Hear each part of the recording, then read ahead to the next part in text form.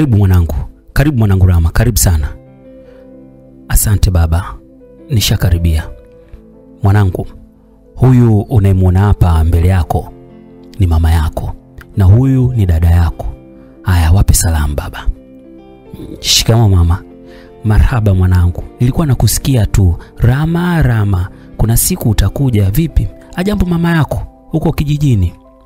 Aa, mama sijajua ujambo wake, maana aliniacha kijijini kwa bibi. Yeye alikuja daa kutafuta maisha. Rama, usiniambie kumbe mama yako yupo mji huu huu anatafuta maisha? Ndiyo, kwa mujibu wa kauli yake wakati ananiacha kwa bibi. Haya, sawa, mwamkie na dada yako huyo. Hapo niliona kama dharau, maana dada mwenyewe nahisi na mimi mkubwa mimi, ila Waswahili wanasema funika kikombe mwanaharamu apite. Shikamoo dada. Marhaba Rama wa kijijini. Moyoni niliumia sana kuniita Rama wa kijijini. Si angeitika tu marhaba inatosha, ila sikutaka kufikiria sana, ila moyoni niliumia sana kuniita Rama wa kijijini. Si angeitikia tu marhaba inatosha, ila sikutaka kufikiria sana. Mara baba akaniambia, Rama, chumba kile cha kati ndio chumba chako, na wewe ndio ushafika kwa baba yako. Maisha yataendelea hapa. Kikubwa heshima, na sisitiza heshima kwa dada yako huyu. Usije ukasema huyu ni dada yako wa kambo, basi usimheshimu. Nitakupiga, na huyu ni mama yako wa kambo, wote uwaheshimu. Sawa sawa baba, nimekuelewa. Haya, mimi naondoka zangu kazini, ukae salama. Sawa baba, kazi njema.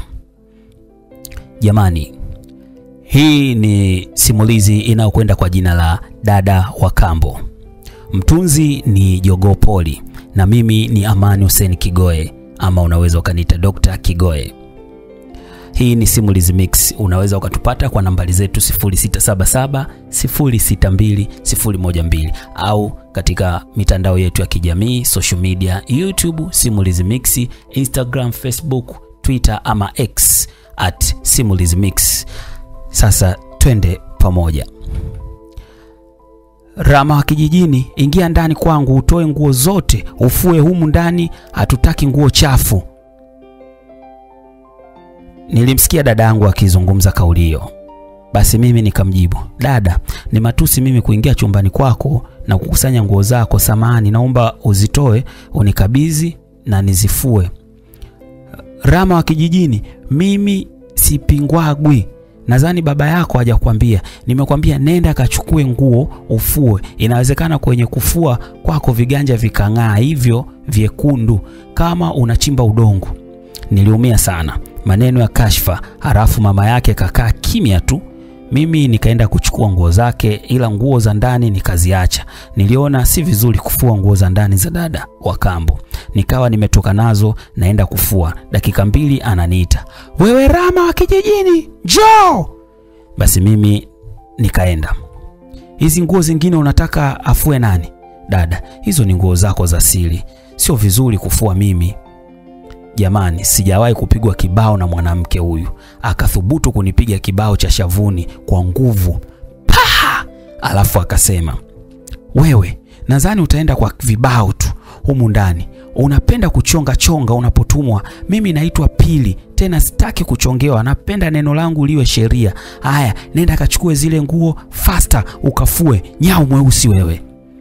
Nilipandwa na hasira hivi ananichukuliaje mpaka ananipiga kibao kwa sababu nimetoka shamba? Au wakati nafikiria hivyo alinipiga kibao tena shavu lile lile. Nilisikia maumivu hapo, zilikuja hasira mara mbili, nikatamani nimchote mtama mmoja tu, akili mkae sawa. Mara baba anaingia, nikaona afadhali nimwambie hili jambo, na nilipomwambia, cha ajabu, baba akaniambia, Lama, kufua ni kazi ngumu? Kwani wewe chukua nguo ufue, acha kuleta siasa zako. Hizo sio heshima. Kachukue ufue, huyu atakupiga sana kama utakuwa mbishi. Baba alizungumza hivyo. Basi nilienda kuchukua chupi za dada wa kambo na nikawa nazifua pamoja na nguo zake, huku nawaza nimegeuka mfanyakazi wa ndani kwenye nyumba ya baba yangu au. Mara mama wa kambo akatoka na yeye akanipa nguo zake pamoja na michupi, alafu akaniambia, Rama, ukimaliza kufua utafagia ndani kote humo, mimi natoka narudi baadaye, ukimaliza kazi upike ule. Sawa sawa mama, nilimjibu. Sasa nilifua nikaona sabuni imeisha, nguo bado. Sasa naingia ndani ili nimwambie baba sabuni imeisha, si nikafungua mlango bila kupiga hodi. Sikuamini macho yangu. Ukumbini pale baba anamnyonya mate dada wa kambo, na hawana habari wala kushtuka, mlango umefunguliwa. Nikafunga kimya kimya, nikawa nawaza baba, kumbe na huyu ni mwanamke wake, ndio maana ananifanyia haya. Nikaenda dirishani kuchungulia, kwa sababu nyumba ina fensi kwa nje, hawajui ya ndani. Naona baba mikono yake inampapasa makalio dada wa kambo, na dada wa kambo anasema, na mimi nataka kuzaa. Unajua mama akubebei mimba kwa sababu akupendi. Mimi nakupenda sawa, ila ukibeba mimba mama yako itakuwaje? Atajua mwenyewe. Mimi nataka mimba, twende basi chumbani ukanipe. Pili, mama yako anaweza kurudi saizi. Kama vipi? Twende gesti. Dadi, hamu zimenipanda hapa, si unaona nimeloa? Twende huko mara moja, au nifanye hapa hapa, mimi navua huko. Jamani, nikaona si vizuri kuendelea kuangalia, maana nitakuwa napata radhi. Baba anafungua zipu na Pili anashusha sketi, mimi narudi kwenye nguo zangu. Mara anaona mama wa kambo anafungua geti, anaingia moja kwa moja, anaenda kufungua mlango wa ukumbini. Mimi nikashika kichwa tu, nasema kimeumana, watajua wenyewe. Mama wa kambo kabla hajafungua mlango, simu yake ikaita na yeye akapokea, na ndiyo salama ya baba na dada wa kambo kusitisha zoezi huko ndani. Haro mama, Siwema. Nimekwambia nyumbani nina ugeni, yule mtoto wa mume wangu ndio kaja. Sasa nitakuwa na muda mzuri sana wa kutoka. Si unajua mume wangu hataki Pili afanye kazi yoyote hapa ndani. Kazi zote nilikuwa nafanya mimi, sasa nimepata msaidizi. Sasa kwa nini mumeo asitafute mfanyakazi mpaka huyo mwana, mwanawe ndio awe mfanyakazi? Unajua itakuletea picha mbaya mama Pili, watu watasema unamtesa mtoto wa kambo. Ilisikika sauti ya mama Siwema kwenye simu ya mama wa kambo. Mama Siwema, wewe nadhani unajua mume wangu anavyolikataa hilo swala la mfanyakazi hapa nyumbani. Anasema wengi ni wezi, hataki kulea wezi nyumbani. Mama Pili, nachokushauri usimwachie kazi zote huyo mtoto, basi uwe unamsaidia. Ila kwa nini mumeo hataki Pili afanye kazi yoyote wakati Pili ni mwanamke? Uone anamtengenezea maisha magumu mbeleni. Shoga mama Siwema, huyo Pili mwenyewe ndio hataki kufanya kazi, toka avunje ungu, yeye mtu wa kudeka tu. Ila mimi nilikuwa nataka mume wa kumpenda mwanangu, nimepata. Si unajua Pili nimepata naye sana tabu, acha apumzike mwanangu. Sawa, haya, siku njema. Mimi nipo kwenye mishemishe, namtafutia Siwema chakula. Si unajua tena, baba mimi, mama mimi. Sawa shoga, utakuja pata wako, utasahau yote hayo. Mimi nikawa nimepata majibu zaidi, kumbe kazi hizi zilikuwa za mama wa kambo, na huyu mama wa kambo ndio bwege nazi, macho matatu, kuona aoni. Hivi umeshindwa kujua kuna mahusiano kati ya mwanaye na baba? He, nikamuita ili kumwambia sabuni imeisha. Mama, sabuni imeisha, shika elfu moja hii, nenda kanunue sabuni hapo kwa Mangi, pita hiyo njia ya kushoto. Mimi huyo nikafata maelekezo. Njiani naona vijana wanaongea, oya huo umama haiwezekani, mtoto wa kiume uoshe vyombo wakati dada yako yupo. Sidesikia, huo sio umama hapo. Mama yako anakuwa anakufundisha maisha yako, kwani wewe ukitoka kwenu ukienda kupanga utakuwa una haupiki? Je, ukipika hautaosha vyombo? Acha kuwajaza ujinga wenzio, wakaenda kufanya ujeuri majumbani mwao. Jamaa walianza kubishana wenyewe kwa wenyewe, mimi nikawapita, naona wamebadilisha mada. Oya, huyu mwamba ni mgeni, anatokea nyumba gani hapa? Cheki miguu ile mekundu ila ndo anaitwa Ngunja. Itakuwa ametokea Kigoma huyu, sehemu moja inaitwa Karenge. Ah, kuna udongo mwekundu huko. Ah, mimi nikawa kimya, sikutaka kuwajibu kitu. Nikaenda dukani nikanunua sabuni, nikarudi, nikawapita, nikaenda kufua. Mara dada wa kambo akaja akaweka stuli mbele yangu, amekaa ananiambia nguo zangu zitakate, nimekuongezea nguo nyingine hiyo. Kuangalia ni chupi ina utelezi kama wote. Wakati anashikwa shikwa na baba, naona ndio ulimtoka, niliona kinyaa, ila nimekaza moyo tu, naendelea kufua. Mara nasikia ugomvi ndani. Mama wa kambo anasema, mume wangu, wiki ya pili unipe haki yangu ya ndoa, una nini? kwani mke wangu, hiyo haki ya ndoa ina ulazima gani? Nimekwambia nimechoka, nina mambo yangu kichwani. Sasa nikawa nawaza hawa hawajui, hawajui sauti inatoka nje. Kumbe mama wa kambo alifunga dirisha la kioo, alijua sauti ya aitoki nje. Kumbe baba akafungua kiakili, sauti itoke nje, nia asikie Pili kuwa anamnyima mama yake haki ya ndoa kwa ajili yake. Sasa Pili anakenua meno, kumbe ajavaa chupi na miguu ametanua, anasikiliza maneno ya ndani. Mume wangu, mimi nina hamu leo, naomba unipe kidogo tu nikate kiu. Mke wangu, mimi siwezi, wewe vumilia. Kama ningekuwa nimesafiri, je? Fanya nimesafiri, sipo.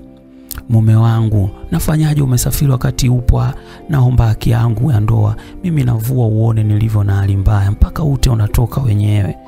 Aa, utakuwa na matatizo wewe, acha niondoke, mimi naona hatuelewani Kiswahili. Sasa Pili anacheka zaidi na miguu ndio kaiachia. Mimi napiga chabo kiwiziwizi, nikaona mashavu ya utamu kwa mbali, alafu najifanya nipo bize kufua. Mara baba akatoka nje ananiambia, Rama, nifungulie geti, nataka kuondoka. Basi haraka mimi nikaacha kufua, nikaenda kufungua geti. Namsikia Pili anasema, dadi, tunaenda wote, mimi sikai nyumbani saa hizi. Sawa, panda gari twende. Jamani, niliona maajabu haya. Pili anapanda gari, hajavaa chupi. Moyoni nasema wanaenda kulana. Sasa namsikia mama wa kambo anaongea na simu. Mama Siwema, mume wangu simwelewi, wiki ya pili anipi haki yangu ya ndoa. Mama Pili, sasa si utulie tu, unapenda kusokonyolewa wewe. Mwanaume akiwa na mawazo mambo hayo afikirii, ila fanya uchunguzi kimya kimya, wapi anamaliza haja zake.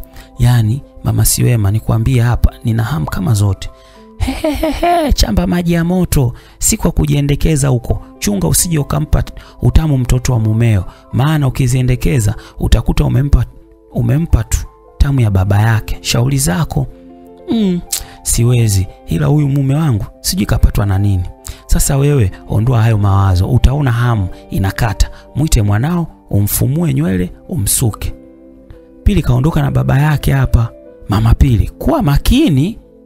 E, mama Siwema, niwe makini na nini sasa? Mm. Au basi acha mimi niendelee na kazi. Baadaye mlio kwenye ndoa mna tabu, sisi tumezoea, wala hatuoni shida. Miezi inakatika tu, wala sisokonyolewi. Basi mama wa kambo yeye kawa kama zuzu, alikata simu arafu sijui akafungua video za ajabu, akawa amelala chumbani kwake, ametanua miguu kitandani, anajichezea mwenyewe huku anaangalia video chafu. Sasa mlio wa kwenye simu ukawa mkubwa, yeye ana habari. Mimi kwenda kuchungulia dirishani, naona mama wa kambo kajizamisha kidole la kati kwenye papuchi yake na anajizungushia huku anakata uno. Mimi sasa mpini wangu ulisimama kweli kweli, udenda kama wote, akili imehama, nimetoa macho kuangalia anachofanya. Mama wa kambo akawa anaendelea na shughuli yake. Nashtuka kuna kitu kinanigusa mgongoni, moyo ulifanya puu. Nikasema kimoyomoyo, huyu ni baba karudi, kaniona nachungulia dirishani. Ile nageuka nione kilichonigusa, kumbe ni nguo bwana, ilikuwa imesukumwa na upepo, ndio ikanigusa na kunistua. Nikajiongeza hapa inawezekana Mungu ananinusuru na huu ujinga ninaofanya. Nikatoka zangu dirishani moja kwa moja nikaenda kumaliza kazi yangu niliyopewa. Mara naitwa Rama. Naam, njoo ndani. Basi mimi nikaingia ndani huku nina wasiwasi kidogo, maana asije akaniambia ni mle, siwezi kufanya huo ujinga. Nafika ndani akaniambia muda wa kula huu, aya kula kwanza. Moyoni nikasema huruma imemjia sasa. Nikamwambia sawa, acha nile mama. Aya, chakula hicho ule, ila kuna siku kuna kitu unatakiwa unisaidie. Sawa mama. Nilikula nikamaliza, nikaenda kupumzika ukumbini, naangalia TV. Mara usingizi ukanichukua na kuja kushtuka, naamshwa na kofi moja la uso. Vipi tena hivi wewe umefua alafu nguo zangu zipauke? Najua wewe umelala, nguo zikakauka, zinatakiwa zitolewe. Wewe wa kijijini unanitafuta eti? Dada, hilo si jambo la kuniamsha tu na kuniambia, sio kunipiga nikiwa kwenye usingizi. Sina huo muda wa kukuamsha, nitakuja kumwamsha mume wangu, sio wewe. Nyau nyau mweusi. Haya, nenda kanue nguo. Moyoni niliumia, alafu baba yupo pembeni. Nili, nilimwambia baba, baba naomba naomba umwambie dada, mimi sio ngoma, halafu mimi nina moyo. Kuna siku uvumilivu utanishinda, nitampiga huyu, utaniona mimi mbaya. Rama, Rama, Rama, unazo akili wewe? Umpige dada yako? Mpige sasa hivi nikuone kama wewe kidume kweli. Yaani nina hasira, halafu yeye dada ndio kareta uso wake mbele yangu, anasema nipige, nipige, wewe si kidume atakayeweza kushindwa kuvumilia, nipige sasa.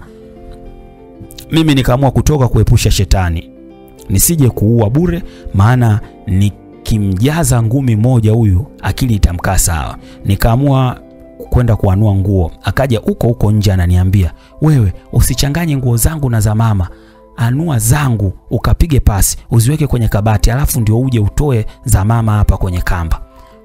Mimi sikumjibu, nikawa nazitoa nguo vile anavyotaka, nikaenda kuzinyoosha. Cha ajabu ananiambia mpaka chupi hizo zipige pasi. Sawa, mimi kimya, sina muda wa kuongea, nafanya anachotaka. Huku nawaza, kungekuwa kijijini hizi chupi ningezipaka upupu, akivaa awashwe huko kwenye papuchi yake, mshenzi huyo, Ila ndio mjini, acha ninyooshe tu.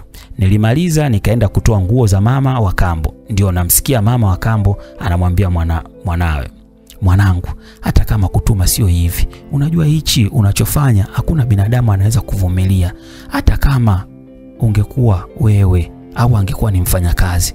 Mama, huyu ni sawa na mfanyakazi tu. Unataka nifanye kazi hiyo mimi au?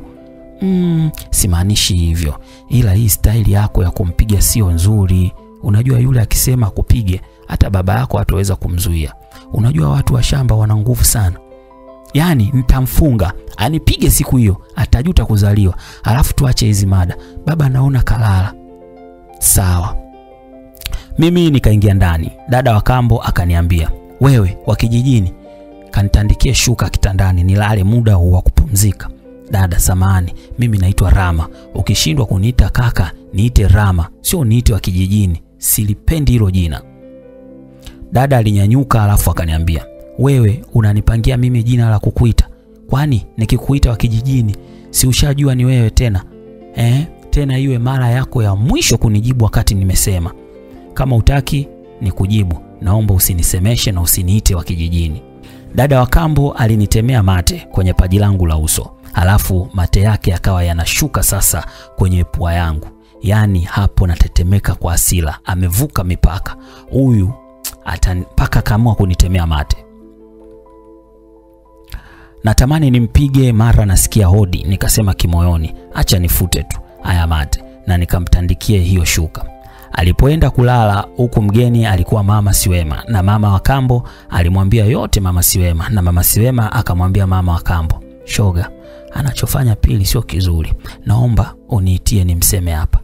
Mm, atatoka baba yake, atakasirika huyu, labda umuite kwako ndio umseme Shoga, wewe muite, kama atatoka shemeji na atoke. Haiwezekani amtemee mtu mate na ampige, hiyo sio sawa.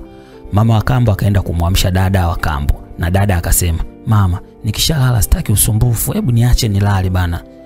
Mama wa kambo akaja kumpa jibu mama Siwema, na mama Siwema akasema, ingekuwa ni mwanangu leo makofi angepata, hawezi kunijibu hivyo, mtoto niliyomnya mwenyewe. Aya shoga, mimi naenda, ila mwambie mwanao abadilike dunia hii. Sawa, mama akajibu, na mama asiwema akawa anaondoka. Mimi nikaenda zangu kulala kwenye chumba changu. Nashangaa mama wa kambo kalala ukumbini pale na baba kalala chumbani. Nikasema aya yao siwezi kuingilia. Usingizi ukanichukua, na nastuka asubuhi, nagongewa mlango, naenda kufungua ni baba. Rama, kapanguse gari, nataka kutoka. Sawa baba. Shikamoo. Marhaba. Shikamoo mama. Marhaba. Alafu nikatoka zangu, naona navutwa kwa nyuma, nageuka, naona ni dada ananiambia, mimi mbona hujaniamkia? Ah, samani sikukuona. Aya, shikamo Marhaba wa kijijini, ujambo? Sijambo. Nikaondoka zangu kupangusa gari la baba, na baba akaondoka na mama wa kambo, na yeye akaondoka. Nikabaki na dada wa kambo moyoni, nasema akijichanganya kunipiga. Kisha akaniita akaniambia Shika pesa hii, nenda kale mgawani. Hapa sitaki kupikwa leo, nataka kupumzika, sitaki harufu ya kupikwa pikwa umu. Sawa. Nikatoka zangu, hata mgahawa siujui, nikaona nichukue soda na chapati nile, ndio naonana na mama Siwema. Akaniuliza, mbona unakula hivyo asubuhi asubuhi hii? Unaweza kupinduka ngili, unaingiza vitu vya baridi tumboni saa hizi. Ah, shikamoo. Marhaba, nishasahau hata kukusalimia. Ah, dada amenipa pesa nikale mgawani, hataki kupikwa leo, na mimi mgawani sipajui, ndio nimeona nile hivi. Sawa, ila Rama, kwani mama yako yupo wapi? Mama yupo mjini, ila sijui yupo sehemu gani. Mimi aliniacha kijijini tu kwa bibi. Rama, nakushauri mtafute mama yako ukakae naye pale, si pazuri kwako, maana utakuja kushindwa kuvumilia. Mwishoni umpige yule mtoto ambaye anadekezwa, halafu ujikute haupo kwenye mikono ya sheria. Sawa, nitafanya hivyo. Hata mimi nimeona pale si sehemu salama kwangu, maana yule mama ataki nifanyiwe hivi, ila baba ndio anasababisha mimi nifanyiwe haya. Yaani baba yako namshangaa sana, mpaka nahisi kuna kinachoendelea nyuma ya pazia. Hapo nilitamani nimwambie unachowaza ni kweli, ila nikasema tena moyoni, mimi mtoto wa kiume, acha nikae nalo moyoni. Nika nikamuuliza nyuma ya pazia kivipi? Yaani kama atembei na yule mtoto basi anamtaka kwa sababu madeko yale kwa mtu mwenye akili ya kuona kesho lazima usome jambo, ila yule shoga yangu amezugwa na akili ya upendo tu, anajua mwanawe anapendwa. Mimi nikasema ah, baba hawezi kufanya hivyo, atembee na mtoto na mama yake kweli? Lama, wanaume nyinyi, hata mama mkwe akijichanganya, mbona hoyahoya uwaga hamna kusema hili baya? Kwani wewe ujasikia mtu analala na familia nzima, dada na mdogo wake? asijasikia sijasikia. Sisi kule kijijini nizamu ipo sana, huwezi kukuta mwanamke anampiga kofi mwanaume, ila huku nimepigwa mimi, sio nimeona, nimepigwa. Rama, haya nenda nyumbani, ila usije ukamwambia mama yako haya nilokuambia. Yeye kama anazo akili atafanya uchunguzi na atagundua jambo tu. Sawa mama. Mimi nikarudi zangu nyumbani, naona dada wa kambo anaongea na simu. Leo mimi nataka kuikeshea, sitaki kulala nyumbani, ndio maana saizi nalala usiku. Nataka kazi kazi, ila unanifurahisha mpaka mama analala ukumbini. Hapa nikajua anaongea na baba na nikapata jibu, ndio maana anataka kupumzika ili usiku ndio aamshe popo kisawasawa. Wakaongea wakamaliza. Wewe umerudi saa ngapi? Ah, ndio naingia saizi. Umenisikia mimi naongea na simu? Ah, sijakusikia. Aya, poa, kapumzike.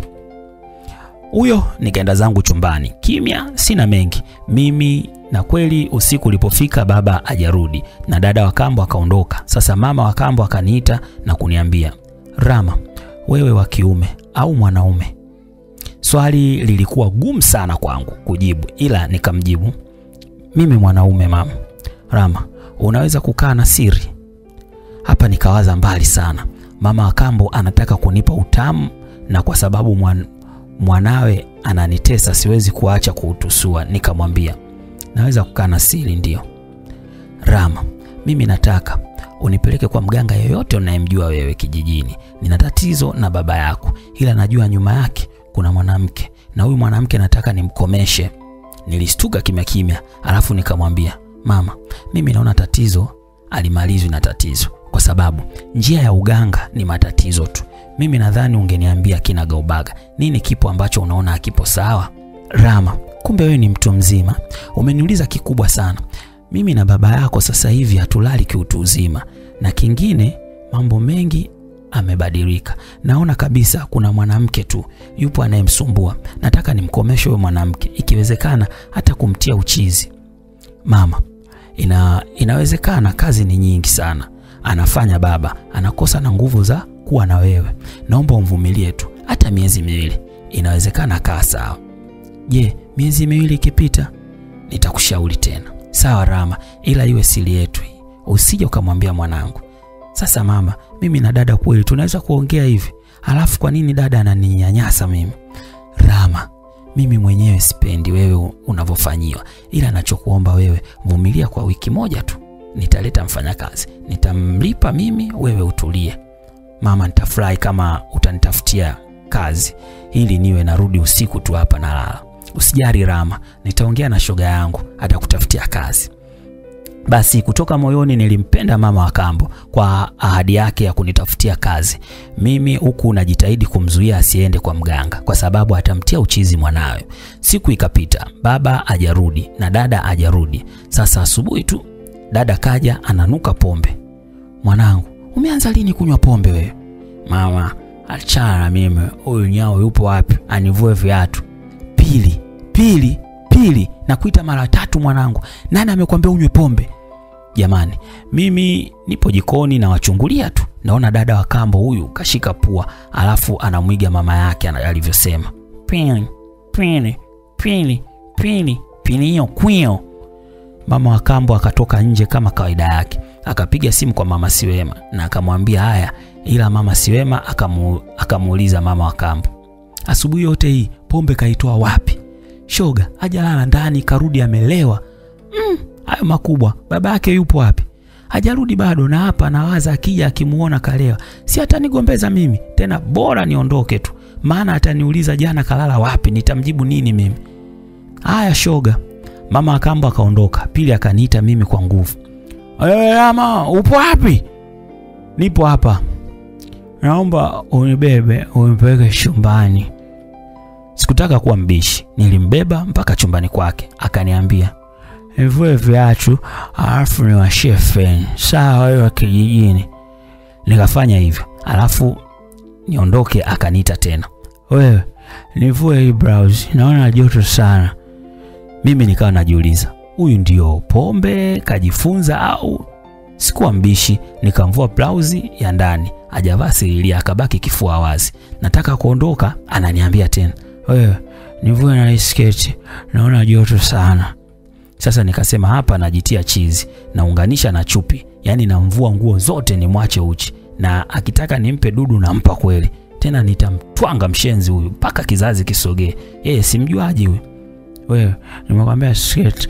Mbona unataka kunivua zote? Unataka nikae uchi? Ah, mi nikajifanya kama sisikii vile, nikamvua sketi yote, akaweka mkono mbele kuziba mashavu yake hapa puchi, huku mimi mpini umesimama, anayo mapaja mazuri. Nataka kuondoka, akaniita. Werama Naam, mimi sio dada yako wa tumbo moja, panda kitandani, mjinga. Wewe. Kidume, sikutaka kulemba, yaani nijivunge vunge, nikapanda kitandani mazima, na nia yangu akitaka nampa kweli. Rama, Rama, sije mwambia mtu, mimi nataka hiyo. Akaonyesha ishara tu, na mimi nikamwambia basi toa mkono hapo, na mimi nitoe mpini tuunganishe vikojoleo kafunge mlango uje tena, kafunge geti kubwa kabisa, unipe bila uoga. Kidume huyo mbio, nikafunga mlango mkubwa na mdogo, nikarudi chumbani. Kweli nimemkuta kalala chali, miguu katanua, halafu mtu kaweka usoni. Kidume nasema kimoyoni, wewe leo utajua au jui. Nikaingiza mkono kwenye bukta, natoa mpini sasa. Kabla sijamaliza kutoa mpini kabisa, nimweke nao kwenye mashavu ya papuchi, simu yake inaita, namba ni ya baba. Nilistuka sana na mpini ukanywea. Akapokea simu. Daji, nipo nje hapa, mwambie Rama anifungulie geti. Alikata simu akaniambia, Rama, Trump ni wako na mimi nione, tutafanya siku nyingine. Baba yako karudi, hatuwezi kufanya. Utaona siku hiyo tukifanya, acha ni mwai baba. Nikatoka zangu huku nasema kimoyoni, hawezi kunitesa tesa mshenzi huyu, maana nishaona anapo palingia japo kuzuri Hmm, kuna nishawishi. Shikamo baba. Marhaba. Nashangaa niulize au jambo wala nini. Huyo akaingia ndani moja kwa moja, akamwita Pili akamwambia, Pili, mimi nataka kumwacha mama yako. Eh, kwa nini tena dadi? Nimemwona yupo na mama Siwema kule muda huu, si anapiga umbea yule. Saizi si angekuwa hapa nyumbani. Dadi, usimwache mama. Unajua ukimwacha mama itabidi na mimi nitoke, alafu utamu wako utaupata wapi? Ongea taratibu, lama atasikia. Nimejisahau, ila yote umetaka wewe. Umesema umemuona kwa mama shwema ndio yani mimi napita na gari na waona wapo nje pale kibarazani, wanaongea ongea. Mke wa mtu asubuhi asubuhi anaenda majumbani kwa watu. Basi mwite afanye kazi za hapa nyumbani ili Rama apumzike leo. Sawa. Mimi moyoni nasema huyu kashalewa somo, anataka kunipa mzigo. Sasa anaona kazi afanye mama yake nacheka kimoyoni. Alipopigiwa simu mama wa kambo akawa anatetemeka huko alipo, anajua baba akajua pili kalewa na kakasirika, akawa anakuja kwa uoga uoga. Alipofika akanikuta napangusa gari, ananinong'oneza, Rama amejua pili kalewa. Mama, mimi sikuingia ndani huko, hata sijui. Basi mama akaingia ndani, sasa akapewa kazi. Naona wewe umekuwa mzurulaji, kaoshe gari na ufanye kazi zote hapa, Rama apumzike. Sawa mume wangu, samani, naomba nikutengee chai kwanza. Utajua wewe utatenga au utaanza na nini. Mwambie Rama aje atulie hapa. Nikaitwa kidume, nikatulia kwenye sofa naangalia marudio ya michezo mbalimbali kwenye TV. Nikaona inanichosha, nikamwomba simu mama wa kambo niwashe data niende simulizi mixi nikasikilize simulizi mbalimbali kwa sauti, na kweli nilifanya hivyo, nikawa nakula burudani. Sasa mama wa kambo kafanya kazi kweli kweli. Baba akaja nilipo akaniuliza, mwanangu, hivi ndio unaambiwa umwambie mtu neno la maana, wewe utamwambia neno gani? Nikaona huyu pombe zimemkolea, au mbona swali alina mbele wala nyuma, ila nikamjibu um, nitamwambia maneno haya Unaweza sahau ladha nzuri ya samaki uliyowahi kumla, lakini huwezi sahau mfupa uliowahi kukuchoma kwenye fizi. Kwenye dunia hii siku zote mazuri hupotea, lakini mabaya hubaki kwenye vichwa vya watu. Juhudi zinatakiwa zitokee pande zote mbili. Usiyapambanie mahusiano dhidi ya mtu ambaye hajali chochote kile. Kuwa makini sana, kwani safari ya mtafutaji haihitaji msindikizaji mwenye tamaa.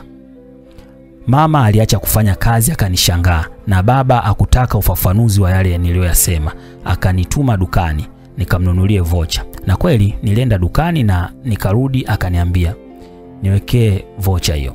Sasa wakati naweka vocha, SMS ikaingia, namba ya pili inamwambia baba, dadi, leo nimekuruhusu utembee na mama kidogo, mtoe wengi. Nikajifanya kama sijaona ile SMS nikaendelea na kazi yangu, nikampa simu yake, nikatulia. Usiku ukafika, baba na mama wakaingia chumbani kwao, na pili akaniambia, Rama, usifunge mlango wa chumbani kwako na kuja tuendelee tulipokatishwa asubuhi. Yaani yeye alivyosema hivyo tu, mimi huku mpini umesimama kisawasawa. Unataka hata saizi nimuweke nao, si kautaka mwenyewe? Nikamjibu, poa, usichelewe basi kuja, au twende tu wote hawa si wapo chumbani kwao huko wanafanya yao, na sisi twende tukafanye yetu. Nilinyanyuka na yeye mpaka chumbani, nafunga mlango moja kwa moja, akanikumbatia, nikamkumbatia hapo hapo. Mimi mikono nikashusha kwenye makalio, nikaanza kuyatomasa huku midomo imegusana, tukaanza kunyonyana mate. Dada ananionyesha ushirikiano, anarembua macho. Kidume nikaingia mkono kwenye sketi, nagusa sasa makalio kwa viganja vyangu maraini na nina hamu ya kufanya kweli. Rama, wewe wa moto, ila usije sema. Sawa, siwezi sema. Dada wa kambo alipiga magoti, akatoa mpini wangu kwenye bukta, akauingiza mdomoni mwake. Anajua kunyonya. Alizungusha ulimi kwenye kichwa cha mpini mdogo mdogo, mimi huku namchezea nywele zake. Mara tunasikia mguno. Ah, mm, as, ah, asante, nakojoa, nakojoa, usitohe. Dada wa kambo akakunja sura kidogo kama imemuuma hivi, alafu akageuka akashusha nguo zake akashika kitanda akaniinamia, yaani na yeye ananipa amkomoe baba. Mimi nishajua hili, ila kwa sababu ananitesa panya huyu, ngoja nimpe kitu, roho inapenda. Nilishika mpini wangu nikauweka kwenye mlango wa papuchi yake, halafu nikawa nampiga brush mdogo mdogo, yeye anajisusa kwa nyuma nia mpini uzame. Sikutaka kulemba, nikamzamisha mdogo mdogo, huku namtomasa makalio. Dada wa kambo anakatika uno la step mdogo mdogo, mara akachanganya na mimi nikachanganya miuno ya nje ndani. Ui, ui, tam, asante, unaweza Rama. Hapa nikawa nawaza sauti isije ikafika kwa baba tu, itakuwa msala, ila kwa sababu baba anakula kitu roho inapenda, nikawa najua atosikia. Nikampandisha kitandani dada wa kambo, nikachukua miguu yake nikaiweka juu ya mabega yangu, alafu nikamwekea mto chini, kiuno kibinuke vizuri. Mwenyewe akashika mpini akaulengesha kwenye papuchi yake, na mimi nikamkandamizia. Sasa nampa uno la nje ndani, kushoto kulia, juu chini, mara katikati. Kiufupi namkuna kwenye kuta zote za papuchi, huku namnyonya shingoni. Ash, nakojoa kojoa, mpenzi wangu. Asante mai wangu, unaweza. Hapa leo ajaniita wa kijijini, ameniita mai, amekojoa. Alafu kidume, sijafika mwisho wa safari, naendelea kumpampu mwanzo mwisho. Sasa nikampelekea ulimi wa kwenye tundu la sikio huku na mpampu, nikawa kama nimegusa kunako. Alinikumbatia akawa ananikatikia, ash wewe, ah, mm, as, ah, nakojoa tena. Mimi nikasema kimoyoni, leo kazi unayo, utakojoa mpaka ujeuli wako. Sasa nikawa siitoi nje, mpini nikawa nauzungushia mumo humo. Kweli akakojoa kidume, sijashusha bado papuchi imelegea na utelezi, nikachomoa mpini, alafu mwenyewe akajipangusa, akaniambia lala nikalie. Kidume nikalala, mpini umesimama imara. Unanipa heshima ya kweli, maana mwanamke akikojoa ndio anasikia raha. Yeye mwenyewe akanitambuka, akaushika mpini wangu, anauelekezea kwenye mlango wa papuchi yake, halafu akawa anashusha kiuno, mpini uzame ndani. Nasikia raha, mpini unazama kwenye papuchi yake, huku mikono yake ananichezea garden love yangu. Rama, nitakupenda sana, mimi sio ndugu yako, nipende tu wewe, unajua sana kuliko. Alisita kumalizia, akalala kifuani kwangu. Kidume nimeweka mikono kwenye makalio yake na, na yaminya minya mdogo mdogo, huku yeye anakatika. Amenisogezea maziwa mdomoni kwangu. Sasa nanyonya maziwa kiufundi, nazungusha ulimi tu kwenye ncha ya chuchu zake. Dada wa kambo akawa kama kapagawa, anaongea spidi ya kukatika katika na ukatikaji ukiwa unaendelea. Kidume nikawa nampitishia kidole gumba kwenye uti wa mgongo wake, huku namshindilia ukuni kisawasawa. Rama, unaweza, asante, nakojoa, nakojoa. Nikaona asikojoe, mimi nipo chini, itakuwa kama ananinyandua mimi nikamgeuza akawa yeye chini, mimi juu. Niliweka miguu yake mabegani, mwenyewe kashika mpini anaulengesha kwenye papuchi yake, na mpini nikauzamisha kweli kweli. Hapo nilimpa uno la minyama nje, minyama ndani, kuta zote za papuchi yake, akawa kama mweu amenikumbatia kwa nguvu, huku anakata uno, na mimi nikafika kileleni na yeye kufika kileleni. Rama, una mpini mtamu sana, na wewe una papuchi tamu sana, ila Rama, penzi letu liwe la siri. Kesho nitaku, nitakutesa wazazi wasijue sisi ni wapenzi. Sawa, nikamjibu hivyo. Kidume nimechukua nguo yake ndiyo namfuta nayo kwenye papuchi yake na kwenye mpini wangu, alafu akatoka akaenda chumbani kwake. Mimi nasema kimoyoni, kesho ukinitesa ni maumivu yasiyouma, yaani mateso bila chuki. Shauri yako. Asubuhi asubuhi mama wa kambo akaamka leo, akaamka na furaha, anafagia nje ya nyumba japo ina fensi. Sasa dada wa kambo kuamka tu kaja kugonga kwangu, wewe wewe wewe. Naam, hivi wewe unalala mpaka saizi? Ni mjamzito wewe? Nakuuliza. Yaani dada wa kambo ananitusi, namuona baba yupo ukumbini ananiangalia tu, moyoni anasema kama ningekuwa sijamdonyoa angeniuma sana. Nikamwambia Niambie, ulikuwa unasemaje? Nenda kaniwekee maji chooni haraka. Nikifumba macho nikifungua nione maji chooni. Namsikia mama wa kambo nje, Pili, maji hapo chooni nimekuwekea. Mama, siongei na wewe, yale maji umemwekea baba yangu, nawekewa na huyu mimi maji yangu. Pili, si nimekwambia ni yako? Mama, endelea na kazi yako huko nje, yaani ndani anakuhusu wewe. Nenda kaniwekee maji. Mimi huyo naenda kuweka maji, alafu nikachukua karatasi nikaandika. Pili, uwe unanisema tu, sio unipige. Nikatoka chooni. Yaani wewe kuweka maji umechukua dakika tano, nisamee. Akaingia chooni akasoma karatasi, afu akaniita, wewe njoo kwanza. Nikaenda, tukiwa chooni akaniambia, Mai, si tunawazuga wazazi, mbona unakasirika tena? Ah, nimekwambia usinipige, sijakasirika. Sawa, nenda nitaondokaje hata dole nisikupige? Lama, tutashtukiwa dole baadaye. Inama kidogo nikupige dole. Haya, ila chomeka na kuchomoa utoke nje. Alipoinama tu sikutaka kulemba, nikamchomeka dole la pupuchi na nikachomoa, nikawa naondoka. Akaniambia, wewe nawe hapo unataka ukalinuse mbele huko ya safari. Nikamjibu sawa. Nikatoka nje, namwona baba ananiambia, mimi naondoka kazini. Wewe hili usione kama unateswa, mwambie dada yako akupangie ratiba zako. Baba samani, si ungenitafutia kazi na mimi nifanye kazi? Kwa hiyo hizi anazokupa dada yako sio kazi? Hapana, ni kazi, ila hazina malipo. Wewe pesa ya nini wakati unakula na kulala bure? Acha kunipigia kelele, kwa heri. Nilimwangalia baba kwa hasira sana. Mara dada wa kambo anatoka chooni ananipa nguo nifue. Namsikia mama wa kambo anasema, Rama, ziache nitafua mimi. Mama, una nini kwani? Huyu Rama unahisi na mnyanyasa au? Mimi sitaki ufue wewe nguo zangu, nataka Rama ndio anifulie. Rama, shika nguo ukafue. Pili, sawa, mimi sina kauli kwako, we unanieleleza unavyotaka. Sawa, mama wa kambo alijibu. Mimi huyo nikaenda kufua huku moyoni nasema, mama wa kambo ajui tu wanashea mpini, na ndiyo maana Pili heshima ana. Mara kaja shoga wa mama wa kambo na Pili akaondoka. Mama wa kambo akamweleza vituko vya Pili na shoga mtu akamwambia mama wa kambo, mpige mwanao asikupande kichwani hivyo, yaani umnye mwenyewe. Leo akuchongee mdomo. Yaani natamani nimpige, nimekwambia mpige leo, yupo. Na wewe kesho hayupo, na wewe huo mdomo. Akimletea mtu baki, si hata mroga, mpige. Mpige vizuri tu. Sawa shoga, nimekuelewa. Shoga mama wa kambo akaondoka.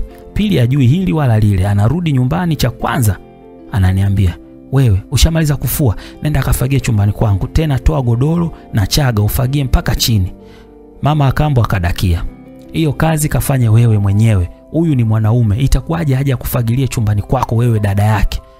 Pili alijibu jibu baya sana, alisema mama, huyu ni mwanaume, ni mwanaume wako au? Mama Akambo ilimtoka ngumi hiyo.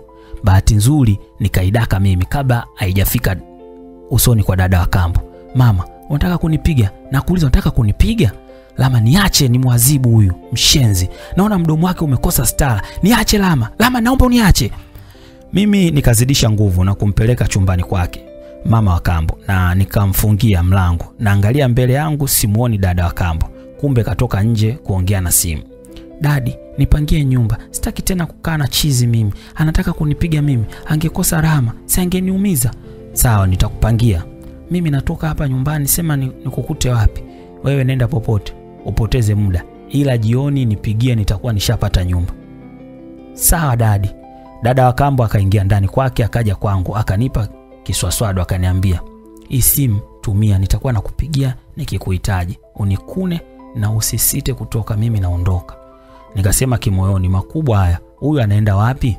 Nikaenda kuweka simu ndani, alafu nikamfungulia mlango mama wa kambo. Naona ametoka amejiinamia tu kwenye sofa pale. Upande wa dada wa kambo akawa anasema peke yake, yule mama jana ndio mwisho wake kula chakula cha usiku, yaani atatafuta bwana wa kumkuna pale. Yeye anataka kunipiga mimi tena, ngoja niende kwa ukungu kiguru nikaongeze ufundi kitandani, nitampagawisha dadi mpaka kweli. Alienda kwa kungwi kiguru na akamkuta na wanawake wengine ambao wanataka kujua ya ndani, maana hawayajui. Na kungu kiguru akawa anawaambia, kama unataka siku hiyo usuguliwe sana, yaani upelekewe moto muda mrefu, fanya hiki kitendo.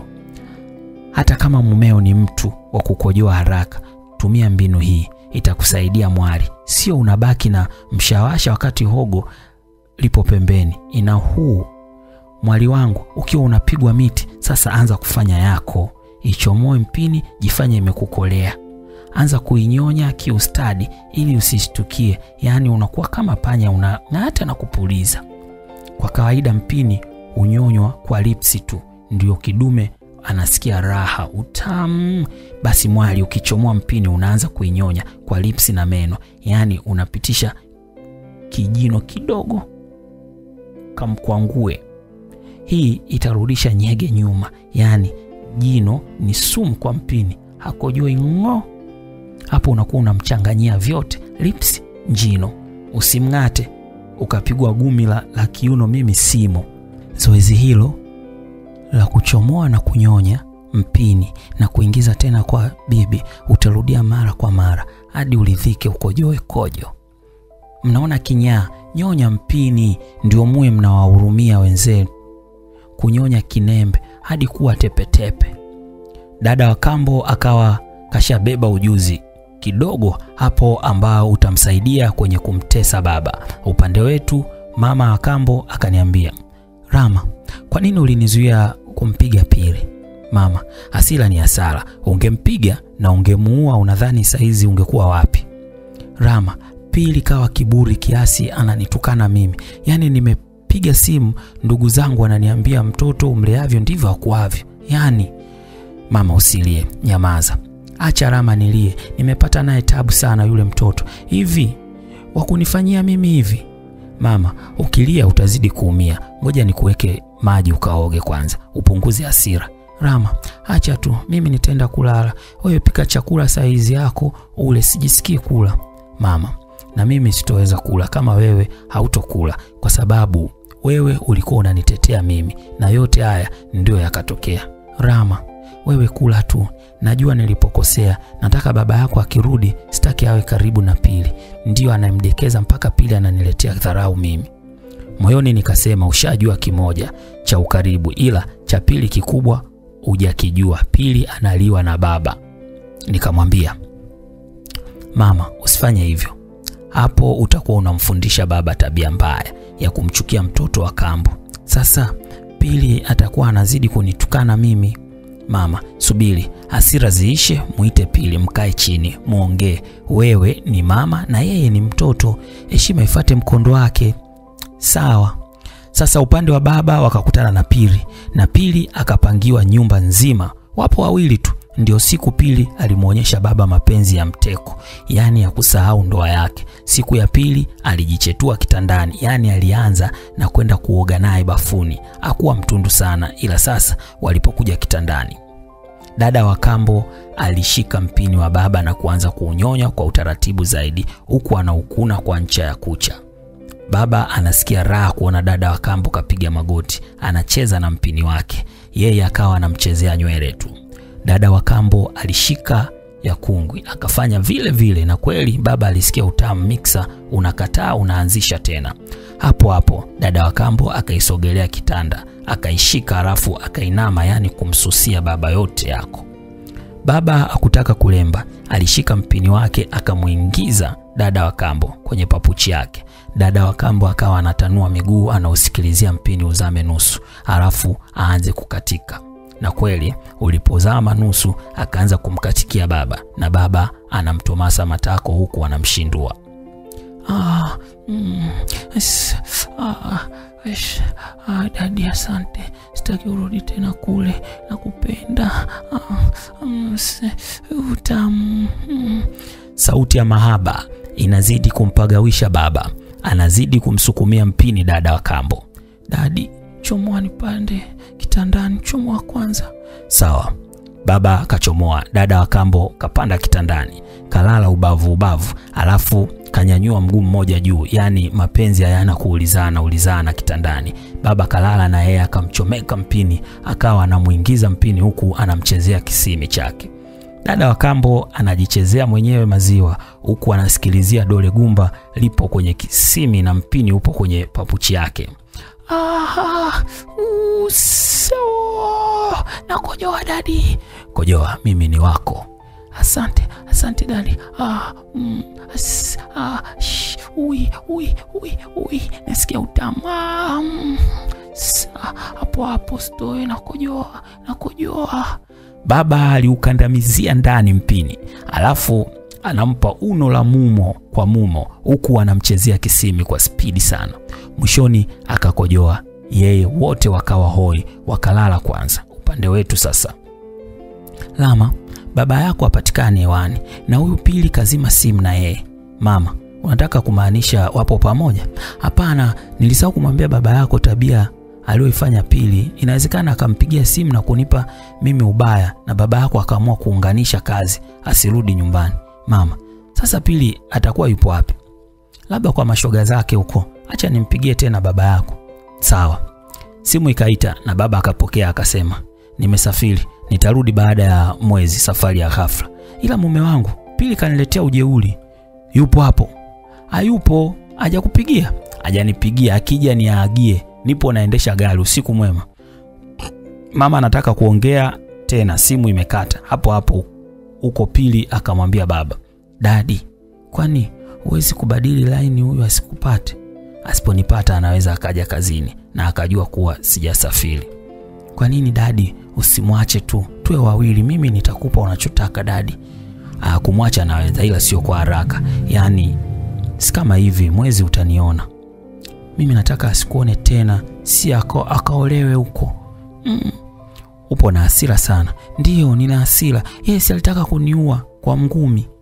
Basi Mai, punguza hasira. Aya, njoo uikalie, naona imeamka hapa kwa kasi. Hili ni jukumu langu, hata usingeniambia, nimeona mwenyewe inataka tena. Ngoja nikukalie, izame ndani, hii icheze na mwenzie. Dada wa kambo anatanua miguu kama anamtambuka baba, alafu akakaa mkao wa kushusha kiuno kuifata mpini wa baba. Sasa uzame kwenye papuchi yake, akaishika kwa mkono wa kulia, anailengesha mwenyewe, na mwenyewe ndio anashusha kiuno, na mpini huo unazama ndani taratibu. Dadi, mpini wako wa moto mtamu, hata wewe papuchi yako ni mnato. Asante, kalia yote izame ndani. Sawa, nasikia utamu. Asante kwa kuikalia. Dadi, sema unataka nini nikupe umwache mama. We unataka kunipa nini? Niambie mama. Mm, sema wewe, nipe tu unachotaka kunipa. Nini sasa? Niambie dadi, nikupe. Ah, uh, uh, tamu. Anaongea huku anakatika. Baba anashindwa kusema na yeye anashindwa kusema, sijui nini hicho kigumu kutamka. Dadi, au utaki nikupe? Nataka, sio nipe. Sema basi nikupe nini? Wewe nipe tu, usiongee, nipe tu hicho unachotaka kunipa. Dadi, ya, niambie tu, usiogope. Nakupa chochote dadi, nakupa, mwache mama.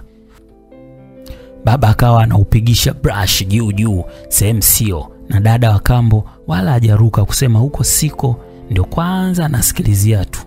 Bahati nzuri simu ya baba ikaita, na anayepiga bosi wake alikatisha starehe kusikiliza simu kwanza. Haro, naomba uje kazini mara moja, kuna dharura. Sawa bosi. Baba alienda kuoga fasta fasta na akamwambia dada wa kambo, naomba umpigie mama yako, umwambie wewe ushaanzisha maisha yako, kwa sababu usipompigia atakutafuta na akikupata ataweza kugundua penzi letu, inatakiwa asikutafute, aweze awaze mengine tu, nitakuja kesho. Dada wa kambo usiku huo huo akamtumia SMS mama wa kambo, na hapo ndipo mama wa kambo usingizi ukampata, akajisemea moyoni, yatamshinda na atarudi tu hapa. Sasa upande wa dada alilala asubuhi. Asubuhi alipoamka akaenda kwa kungwi kuchukua ujuzi zaidi, amteke baba, na kama kawaida kwa kungwi Kiguru akukosi watu, alikuta wanawake wenzie, na kungwi Kiguru alikuwa anawaambia mazoezi ya kukata kiuno sio wakaa kama gogo kitandani. Zoezi la kwanza waweza anza hivi: chuchumaa chumbani kwako au sehemu yoyote ya faragha, shika kitanda au kiti huku umechuchumaa, anza kuzungusha kiuno kwa kuchora o au sifuri. Chora sifuri zaidi ya mara ishirini au mara mia ukiweza, kisha pumzika. Siku ya mwanzoni kiuno kitauma, ila ndo mwanzo mzuri wa kuwa hodari mbeleni. Ukiendelea kwa siku kadhaa, utaona chalainika na akiumi tena. Siku, siku ya pili, zoezi la pili, lala chali, weka mikono yote shingoni, inuka miguu kwa mchoro wa V kama vile upo reba. Chora sifuri unavyoweza, zaidi ya ishirini au mia. Hapa unachora sifuri kwa kutumia makalio. Zoezi hili nalo utalifanya kwa siku kadhaa hadi uweze na kiuno kilainike ili uwe hodari. Zoezi la tatu, zoezi lingine la kufanya ni chuma mboga. Hii ndo rahisi sana. chola sifuri kwa kutumia makalio kwa zaidi ya mara ishirini hadi mia ukiweza, na huo ndo mwanzo wa kujifunza. Fanya hivyo kila siku, utaona raha na faida yake wakati wa kumpa mume mautamu. Kana hujasikia bwana anapiga yowe, shikamo mke wangu, kwa uno analopewa. Hmm. Zoezi la nne, chola moja hadi mia kwa kutumia kiuno na zoezi hili ulifanya asubuhi na jioni. Ukiwa huna nguo, simama kwenye kioo, shika kiuno, anza kuchola namba. Wiki moja tu nyonga inakuwa laini. Zoezi hili limewafanikisha wengi sana kulainisha kiuno wakati wa kufanya mapenzi, kwa sababu linafanya kiuno kiwe chepesi na uweze kuikatikia ndizi kwa kona zote na staili zote mwanamke kiuno. Kumbuka mazoezi haya yawaweza anza moja moja baada ya jingine pale mwanzoni. Ukiona kiuno kimelainika sasa, anza kufanya yote kila siku, na pia anza kusimama kwenye kioo huku wajiangalia mtoto ulivyoiva. Mtoto wa kike, changamka kitandani. Sifa ni kukata uno, kukaa kama gogo, utakimbiwa. Shauri yako. Dada alilipa pesa ili somo liendelee, na Kungu siku hiyo yeye alikuwa na kiuno tu. Alisema kiuno, kiuno, kiuno kitandani. Kuna baadhi ya wanawake ili swala aliwaelewi, mniwe razi. Raha ya kiuno kitandani iwe kwa wote, viuno vinatakiwa visikilizane. Viuno pale kukikata kiufundi, hasa kina dada, sio unajikatia tu ili mradi na wewe unaonekane wajua kukata mauno. Hapana, chakatwa kulingana na staili ya mtwangio. Kukata kwenu vibaya mnawasababishia hisia za wanaume kukatika kila muda. Zungusha mtoto wa kike sampuli ya tairi iliyopinda. Haya mambo yahitaji ujuzi, sio unakatika katika tu mara unatikisa miguu tu. Jitahidi mnapokuwa safarini, unajifaragua utafikiri wakimbiza mwizi. Jaribu na wewe kufata mapigo ya mumeo, wamjua wewe. Wakati mwingine ataki kiuno chako, hasa pale anapokaribia kileleni mwa safari, ana jazba kwa kasi ya hali ya juu. Hapo watakiwa uwe makini sana. Ukitoa hapo, hato kusahau, si kwa kukupenda, ni kwa kumkomesha raha, tena hata kukasirika kila unapofika muda wa tendo la ndoa. Anaona utamtibulia utamu wake. Utakiwi kukatika mauno wakati mwenzako ipo kwenye spidi mm, chefu. Zingatia, wakati mwingine nyie mwaona mwakata, kumbe mwawaumiza tu wanaume zenu, au mnakata hisia, mnaanza upya, alafu mwisho bebi dia, mbona mapema mie bado, wakati kiuno chako kimemuumiza. Ukataji kiuno unakupa raha katika jimai Eh, kumpagawisha na kumpa raha ipasavyo mwenza wako. Raha ya jimai ni kupeana raha kwa kila mmoja hadi atosheke na kiu yake, sio mmoja ametosheka na mwingine bado yupo. Sio hivyo, kutokana na mautamu mkajiona mko angani, kumbe mko kwenye sita kwa sita. Raha ya kiuno, injini iwe nzima ya laini, sio hadi isukumwe mara izime mlimani tena. la eh, shanga kiunoni zizunguke kwa mikato ya feni mbovu, huku mkibadili mikao hadi raha. Kwa leo dada wa kambo akaondoka kwenda kuanza mazoezi ya kukata kiuno huku kwake. upande, upande wetu mama wa kambo akaniambia, Rama, nilimpa kazi shoga yangu ya kukutafutia kazi, kuna sehemu amepata, inabidi uende, mimi nipo hapa nyumbani. Sawa, nielekeze. Akanielekeza vizuri huyo nikaenda kweli, nikafika na nikakutana na mlinzi wa nyumba ya yule shoga wake mama wa kambo, akanikabidhi kwa huyo mlinzi. Sasa mlinzi akaniambia, kijana, hapa una, unatakiwa uwe shamba boy. Wakati unamsubiri boss, chukua fyekeo uanze kufyeka majani kwa hapa ndani. Sawa. Basi mimi nikaingia ndani na yeye akawa ananiangalia anavyofyeka majani huku nasubiri bosi. Mara naona mlango unafunguliwa, anatoka mwanamke amevaa kipensi. Ile kumwangalia vizuri ni mama yangu mzazi. Niliacha fyekeo nikamwita mama, mama. Aligeuka na alivyoniona akutabasamu, alimpa ishara mlinzi anitoe nje. Wewe twende nje. Samani, yule ni mama yangu. Mlinzi alinikwida juu juu na kunitoa nje. Kitendo kilinishangaza sana. Nafika nje, ananiambia wewe, mama yako anakaa na mzungu hapa na amemwambia hajazaa. Wewe unataka kuharibu mipango ya mama yako? Ondoka, kesho njoo, nitajua mimi niongee naye vipi. Sawa. Ina maana mzungu bora kuliko mimi mwanaye? Wewe mwanamke anaona bora ngoma kuliko mtoto, itakuwa mzungu? Wewe hujawahi kuona mwanamke anamwacha mtoto kalala kakimbilia ngoma? Eh, da, yaani hata sielewi kwa nini mama amefanya hivi amenitelekeza kijijini siku nyingi, hata msaada hamna, kumbe anakaa na mzungu. Samani, washazaa na huyu mzungu? Wewe hilo jambo zito, hajazaa. Wewe nenda kwanza, wanaweza kutoka hapa na mumea ukaniharibia ugali wangu.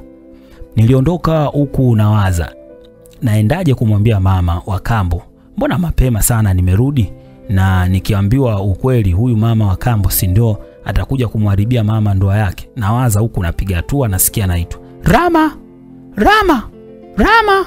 Ile nageuka nakutana na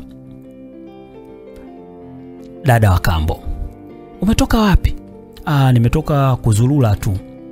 Vipi, yule kinyago cha mpapule anasemaje? Ndio nani huyo? Rama, wewe unajifanya umjui, si yule aliyetaka kunipiga usoni tuf, tufanane sura. He, dada, yule ni mama, sio vizuri kumwita kinyago cha mpapule. Aya, mama yako vipi, anasemaje? Hajasema kitu. Ngoja basi niongee na mtu mmoja hapa, alafu nikupange. Mimi nikasimama huku nasema kimoyoni, huyu dada akili hana, anamdharau mama yake kweli. Hii dunia, mama yangu ananidharau mimi. Basi kumbe alikuwa anaongea na baba. Halo dia, unarudi saa hizi au baadaye? "Ah, Muda si mrefu narudi, tena nimechoka sana. Sawa, nitaka kutoka kidogo nikatembee tembee. Basi ngoja nikusubiri. Wewe nenda katembee na mimi kuna sehemu nipitie mara moja, alafu nitakujuza. Wakati nakuja na wewe utoke huko ulipo. Sawa. Ila ulimwambia mama yako kuwa wewe umeanza maisha yako? Ndiyo. Sawa, baadaye. Basi akaja kwangu akaniambia, Rama, chukua pikipiki pale, mwambie akupeleke kona ronji, alafu nisubiri. Mimi sina pesa, nipe pesa ya pikipiki. Sawa, shika elfu kumi hii, ila pale nauli ni elfu mbili utampa mwenye pikipiki. Sawa, nilikubali, kisha nikaondoka. Nikaona afadhali nikapoteze muda huku, hili mama wa kambo ajue nipo kazini, ili kesho nikienda mlinzi atanipa mwanga mzuri. Ameongea na mama, amemwambiaje? Basi napanda pikipiki ya kishandu, ameweka sauti ya redio juu, alafu anapiga kelele tu. Dakika kumi nikafika kona ronji, nikakaa nje. Na shangaa mara dada wa kambo akafika, yupo kwenye bajaji, akaniambia unaona mbele yako hiyo ni ronji, nenda moja kwa moja chumba namba ishirini, ingia unisubiri, nishalipa kabisa, mlango upo wazi. Kwa nini tusiende wote? Rama, wewe ujui mimi na wewe mtu na dada na, na dadake au? Sikuongea tena. Huyo, nikaenda zangu ronji moja kwa moja kwenye chumba namba namba ishirini. Kweli kilikuwa wazi, nikaingia nakutana na kibegi cha kike kitandani. Mara dakika tano dada anaingia ananiambia, Rama, leo nataka unipe tendo sio la kiuoga uoga, uniguse kweli kweli. Najua siku ile au kufunguka ulikuwa mwoga, si ndio? Sawa, nikamjibu hivyo. Nikasema kimoyoni, huyu anataka show ya kiuno, ngoja nimwonyeshe uhuni muuni ana show mbovu, anavua nguo zake mwenyewe, anapanda kitandani, akalala chali, miguu kaitanua, papuchi naiona ile pale nyekundu, alafu kanilegezea macho. Nikavua nguo zangu zote, mpini umesimama kweli kweli. Rama, fungua mkoba huo, toa mafuta. He, nikasema kimoyoni, mafuta ya nini tena wakati mate hapo? Kweli nikafungua mkoba wake, nikakutana na mafuta ya nazi. Akaniambia yapake kwenye kichwa cha mpini wako. Kweli sikutaka kulemba, nikapaka kwenye kichwa cha mpini wangu. Yeye akasogeza mtu akaweka kiunoni kwenye mto, alafu akazidi kujibinua kiuno, miguu katanua. Manu ananiambia nishikishe mpini wako nilengeshe mwenyewe. Nikamjibu sawa. Jamani, alishika mpini wangu kwa mikono yake laini akalengesha kwenye akalengesha kwenye gia yake, anataka nimsugue gia, na mimi sikutaka kulemba, namsugua gia mpaka kwenye mashavu yake ya bapuchi yani kama nikakandamizia nika- ndani naitoa nje. Ah, oh, mm, hivyo hivyo, asante tamu. Sasa nikaongeza spidi ya kumpiga brush baada ya kuona utelezi umezidi kwenye papuchi yake. Ah, uh, ah, ah, ah. Hapo sikutaka kulemba, nikamkandamiza nao ndani. Huo mwendo nilikuwa nampelekea, alikata kiuno mwishoni, akaganda, akawa anasikilizia mtwango sasa, na mimi nampa ile nje ndani kweli kweli. He, hapo ndo utaniita mzee mzima kutoka Mbeya, atombingile kitwango. Eh, Mwakimbolo kitwango. Yeah, natwanga kazi. Ah, uh, as, asante nakupenda Rama. Nikachomoa mpini nikamwambia ainame, akainama. Hapa sasa nikamfanyia utundu kidogo, niliushika mpini nikaanza kumpiga brush kwenye makalio yake, alafu nikagusisha nyuma nyuma kwake, akashtuka kidogo, alafu akawa anasikilizia, nikashusha kwenye mashavu ya papuchi. Sasa ukawa ndio mchezo, naanzia nyuma kwake panapolia pwi mpaka kwenye gia, napiga brashi tu, naona anatanua makalio yake huku anajisusa. Nikasema ngoja nimwonyeshe show ya kiuno. Nikaenda ku, kupuliza sasa makalio yake, wakati taratibu na upepo kama unambembeleza moto wake, huku namchezea gia yake na dole la kati. Ui, ah, ai, ash, uh, leo unaniweza, asante. Uh, nimechelewa wapi mimi? Nikazamisha dole kwenye papuchi, alafu nikawa nalizungusha kwa ndani huku nampuliza makalioni, anakatika uno kweli kweli. Nikaona nisije chelewesha, nikashika mpini nikamzamisha nao kwenye papuchi, huku namchezea makalio na dole gumba kwa nje, si sio ndani. Hiyo miuno aliyokuwa anakata kwa kujisusa ili dole gumba lizame kidogo, nadhani na mimi sikuwa na iana, nikamzamisha kidogo sana, alafu nalizungusha huku namsukumia mpini kweli kweli. Ah, ai, nakojoa kumbe tam, tamzungusha tu dole zungusha tu dole lama sikuachi asante.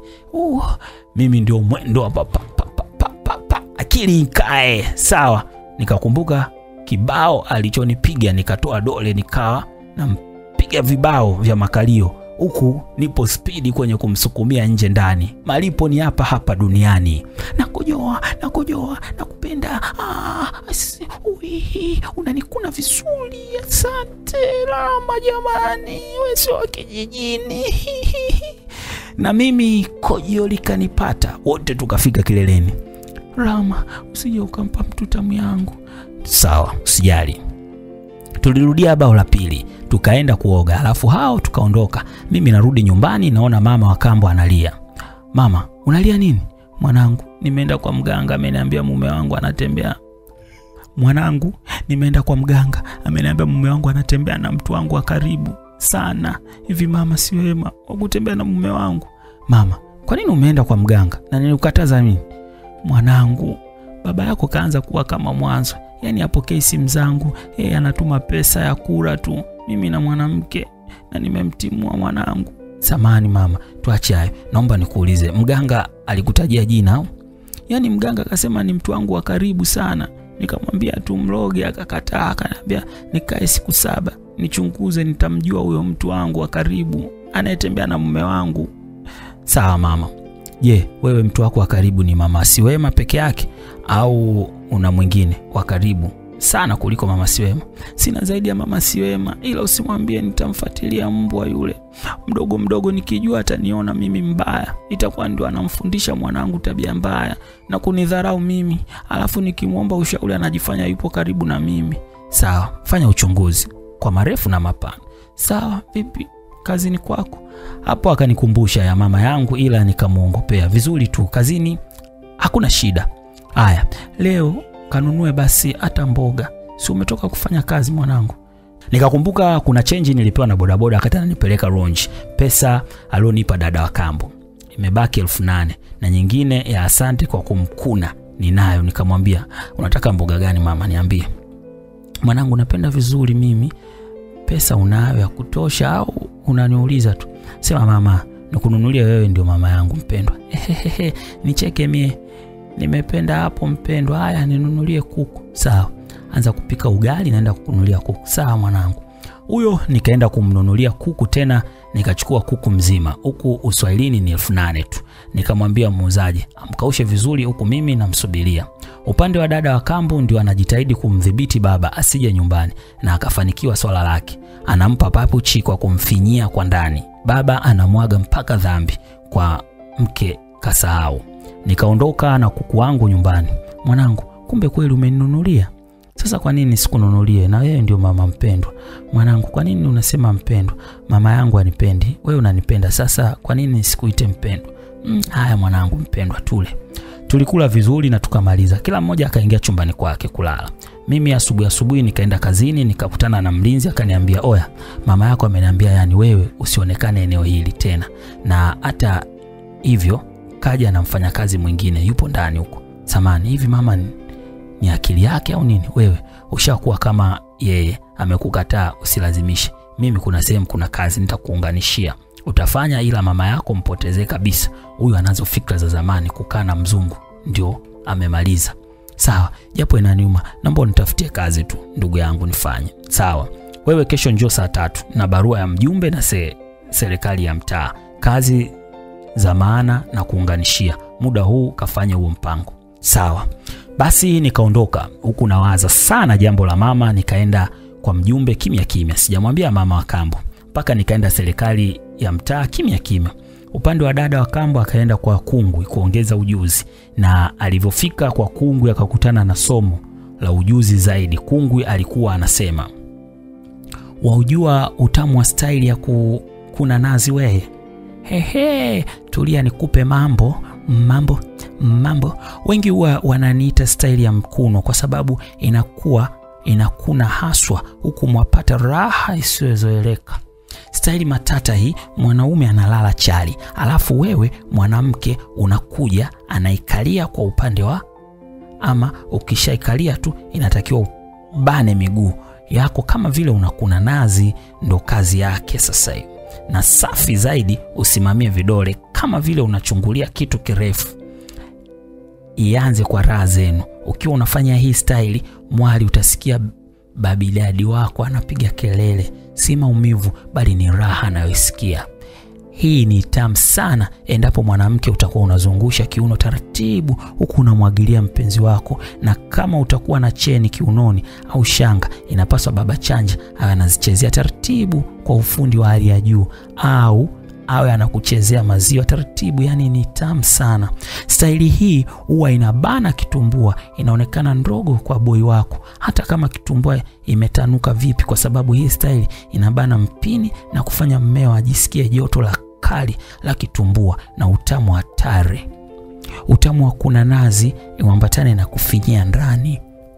Dada wa kambo anazidi kupata ujuzi, anaenda kumpelekea baba hilo swala la kukuna nazi. Upande wa mama wa kambo anachezea simu yake, mara akakutaa picha ina video ya ngono, akaifungua akawa anaiangalia. Mimi nilivyoingia akaizima simu, ila macho yake yamelegea sana. Karibu mwanangu mpendwa. Asante mama mpendwa.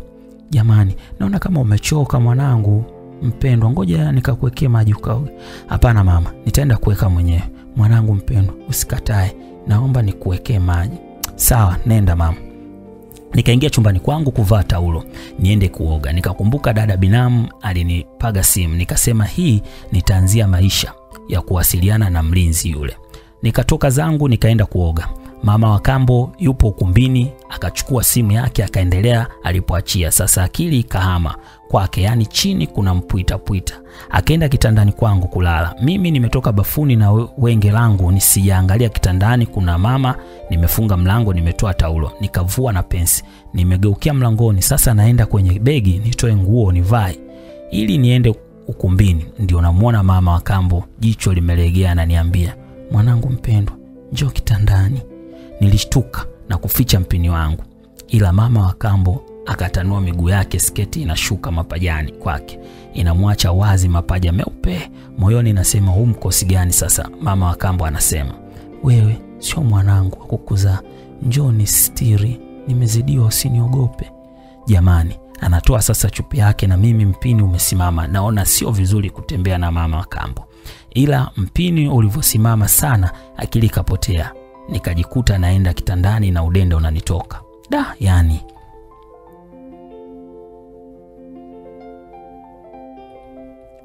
kabla sijafika kitandani, mama wa kambo simu yake imeita kuangalia namba ngeni, akapokea. Halo, samani, mimi mama Siwema, nimeomba simu tu kwa mtu hapa, naomba sana umwangalie Pili anaku. Mama wa kambo akakata simu, alafu akaniambia, kumbe mshenzi mama Siwema anaona simu yake nimempiga block, amechukua simu ya mtu mwingine kunipigia mimi kutaka kuleta umbea wake. Ungemsikiliza kwanza mama, achana naye, tufanye yetu jamani. Ile naweka kichwa kwenye mashavu ya papuchi, napiga blush tu, mlango unagongwa nje. Mama akambo steam zikakata, akaniambia inawezekana kaa baba yako, ngoja. Kweli nilikaa ndani na ngoja, kweli alikuwa ni baba. Wakapokeana, mimi nikasema kimoyoni, bwana limeingia ruba na huu ni ujinga wangu. Kwa nini nisiingize tu moja kwa moja? Najifanya kupiga blush, mara anaitwa Rama. Rama, naam, baba yako kaja, njoo msalimie. Sawa. Natoka nje namsalimia baba, akaitika vizuri, akaniambia aya, nenda kaninunulie vocha. Sawa. Nikatoka kununua vocha, njiani nakutana na mama Siwema, akaniambia Lama, yule baba yako akambo kambo akili hana, yule mwanaye anatoka na baba yako. Nampigia simu nimwambie mtoto anachofanya, yeye ananikatia simu na simu yangu kani block. Sasa Waswahili wanasema mwenye kiranga apewi pole, acha ninyamaze. na mimi nitaka nikushauri hivyo hivyo kunyamaza, maana inawezekana ukataka kufanya kwa wema, alafu wema wako ukawa unaleta mpasuko mkubwa kati ya mama na mtoto, ila dunia imeisha hii. Sawa Rama, na wewe usimwambie, kaa kimya. Sawa. Nikaenda zangu dukani kununua vocha, narudi namsikia baba anafoka, sitaki uwe una rafiki na mama Siwema. Nasikia mama Siwema ni mbea sana, uko juu kote, wake za watu wamepigwa marufuku kuongea naye yule mama. Sawa, hata hivyo namba yake nimebloku, si unaona hii mume wangu. Sawa sawa, na akija hapa mfukuze, sitaki uwe naye karibu. Sawa. Mimi naingia nampa vocha baba, na baba huyo anaaga anaondoka. Mama akambo akaniambia, Rama, nipo kwenye mshangao mkubwa. Mganga akasema mume wangu anatembea na mtu wangu wa karibu, na hapa mimi nimemwaza mama sema Saizi naona baba yako anamchukia mama sema Je, ananizuga ni mimi au kwani baba si alisafiri karudi ghafla kwa ajili ya kukwambia hayo? Hilo mm, nalo neno, ila kazini kwao mara kwa mara wanasafiri na wanarudi ghafla. Yaani hapa nimevurugwa kweli. Mimi natamani kumwambia twende tuendelee tulipoachia, ila siwezi. Naona anaenda chumbani kwake huko amevurugwa kama anavyosema. Basi mimi nikaenda kulala. Asubuhi asubuhi nikaondoka kwa mlinzi, na mlinzi akanipa maelekezo ya kwenda huko kazini nikaombe kazi. Basi nimepanda daladala huku nawaza nimemkosa mama wa kambo kwa uzembe wangu. Nikafika sehemu hiyo ya kazi, naona watu wenye barua kama sita. Tumekaa tunapiga piga stori huku tunasubiri kuitwa. Mara naona mimi nimeitwa. Oya Rama, nimepokea salamu zako kutoka kwa mlinzi yule rafiki yangu. Sasa karatasi zote zimekamilika? Eh, ndio. Aya, nenda chumba hicho cha mwajiri akupe ajira.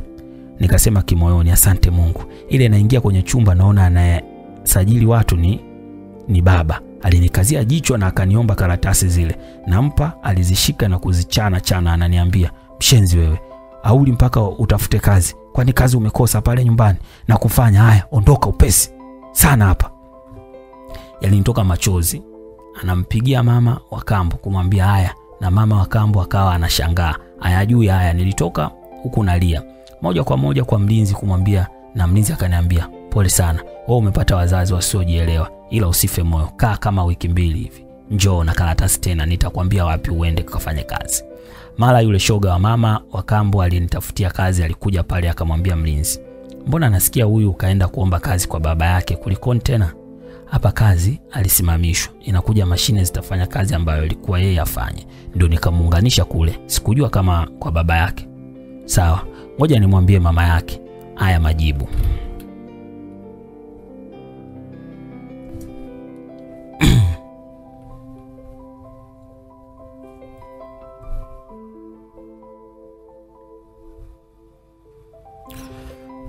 Akamwambia mama wa kambo, na mama wa kambo akasema sawa, yameisha, maana nilivurugwa, ila baba yake ameniambia asifanye kazi tena. Huyo sawa, mtoto wa kishua huyu, yeye hataki kuwa wa kishua. Wewe umeambiwa asifanye kazi, kwani yupo hapo?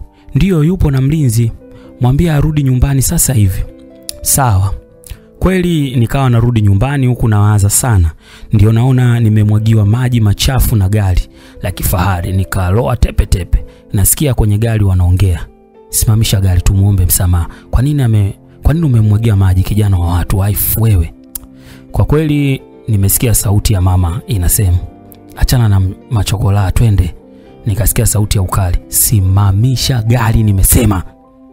Gari ikasimama, akashuka mzungu mmoja kwa moja kaja kunikumbatia na kuniambia pole sana, waifu wangu akuona kama kwenye dimbu yapo kuna shimo. Pole sana kijana. Asante, nishapoa. Akawa anamuita mama aje aniombe msamaha. Wife, wife, toka kwenye gari uje umwombe msamaha. Mama anapandisha vioo, anamtum, anamtumia SMS mzungu, nimeshikwa na tumbo, siwezi nyanyuka, twende. Mzungu akanipa elfu hamsini nikanunue nguo zingine. Mimi huyo naondoka huku, najua aliyenimwagia maji ni mama yangu mzazi. Natembea nalia kiume. Rama, Rama, mbona unalia na umeloa hivyo? Mama Siwema, ya dunia ni mengi. Samani, naomba kama unakaa karibu nikatoa hizi nguo na ukaninunulie zingine. Yaani leo umepita mitaa ya kwangu, mimi nakaa hapa juu. Haya, twende ukabadilishe hizo nguo. Nini kimekukuta? Nikamdanganya. Ah, wenye fedha wamenimwagia maji machafu na gari lao na kuondoka. Pore Rama, wakati huu wa mvua usio unapita karibu na madimbwi, wenye magari wengine si wastaarabu. Afadhali chinga huyo, nunua nguo mwenyewe. Kweli nikanunua nguo na nikaenda kubadilisha kwa mama Siwema, nikaoga na akanisindikiza huku ananipa usia wa kuwa makini tu. Mimi narudi nyumbani, naona mama wa kambo anaongea na simu. Nakuja huko Sumbawanga, maana naona sielewi. Mimi kimya na wenge lake la kuongea na simu ajashtuka. Nimekuja na mavazi tofauti. Sasa moyoni nasema baba si anasema hapa nyumbani kuna kazi, huyu mama wa kambo akijichanganya nampelekea moto kweli. Ndio kazi yangu hii. Mwanangu mpendwa. na mama mpendwa, njoo. Nikaenda, nilikuwa chumbani, yeye yupo ukumbini.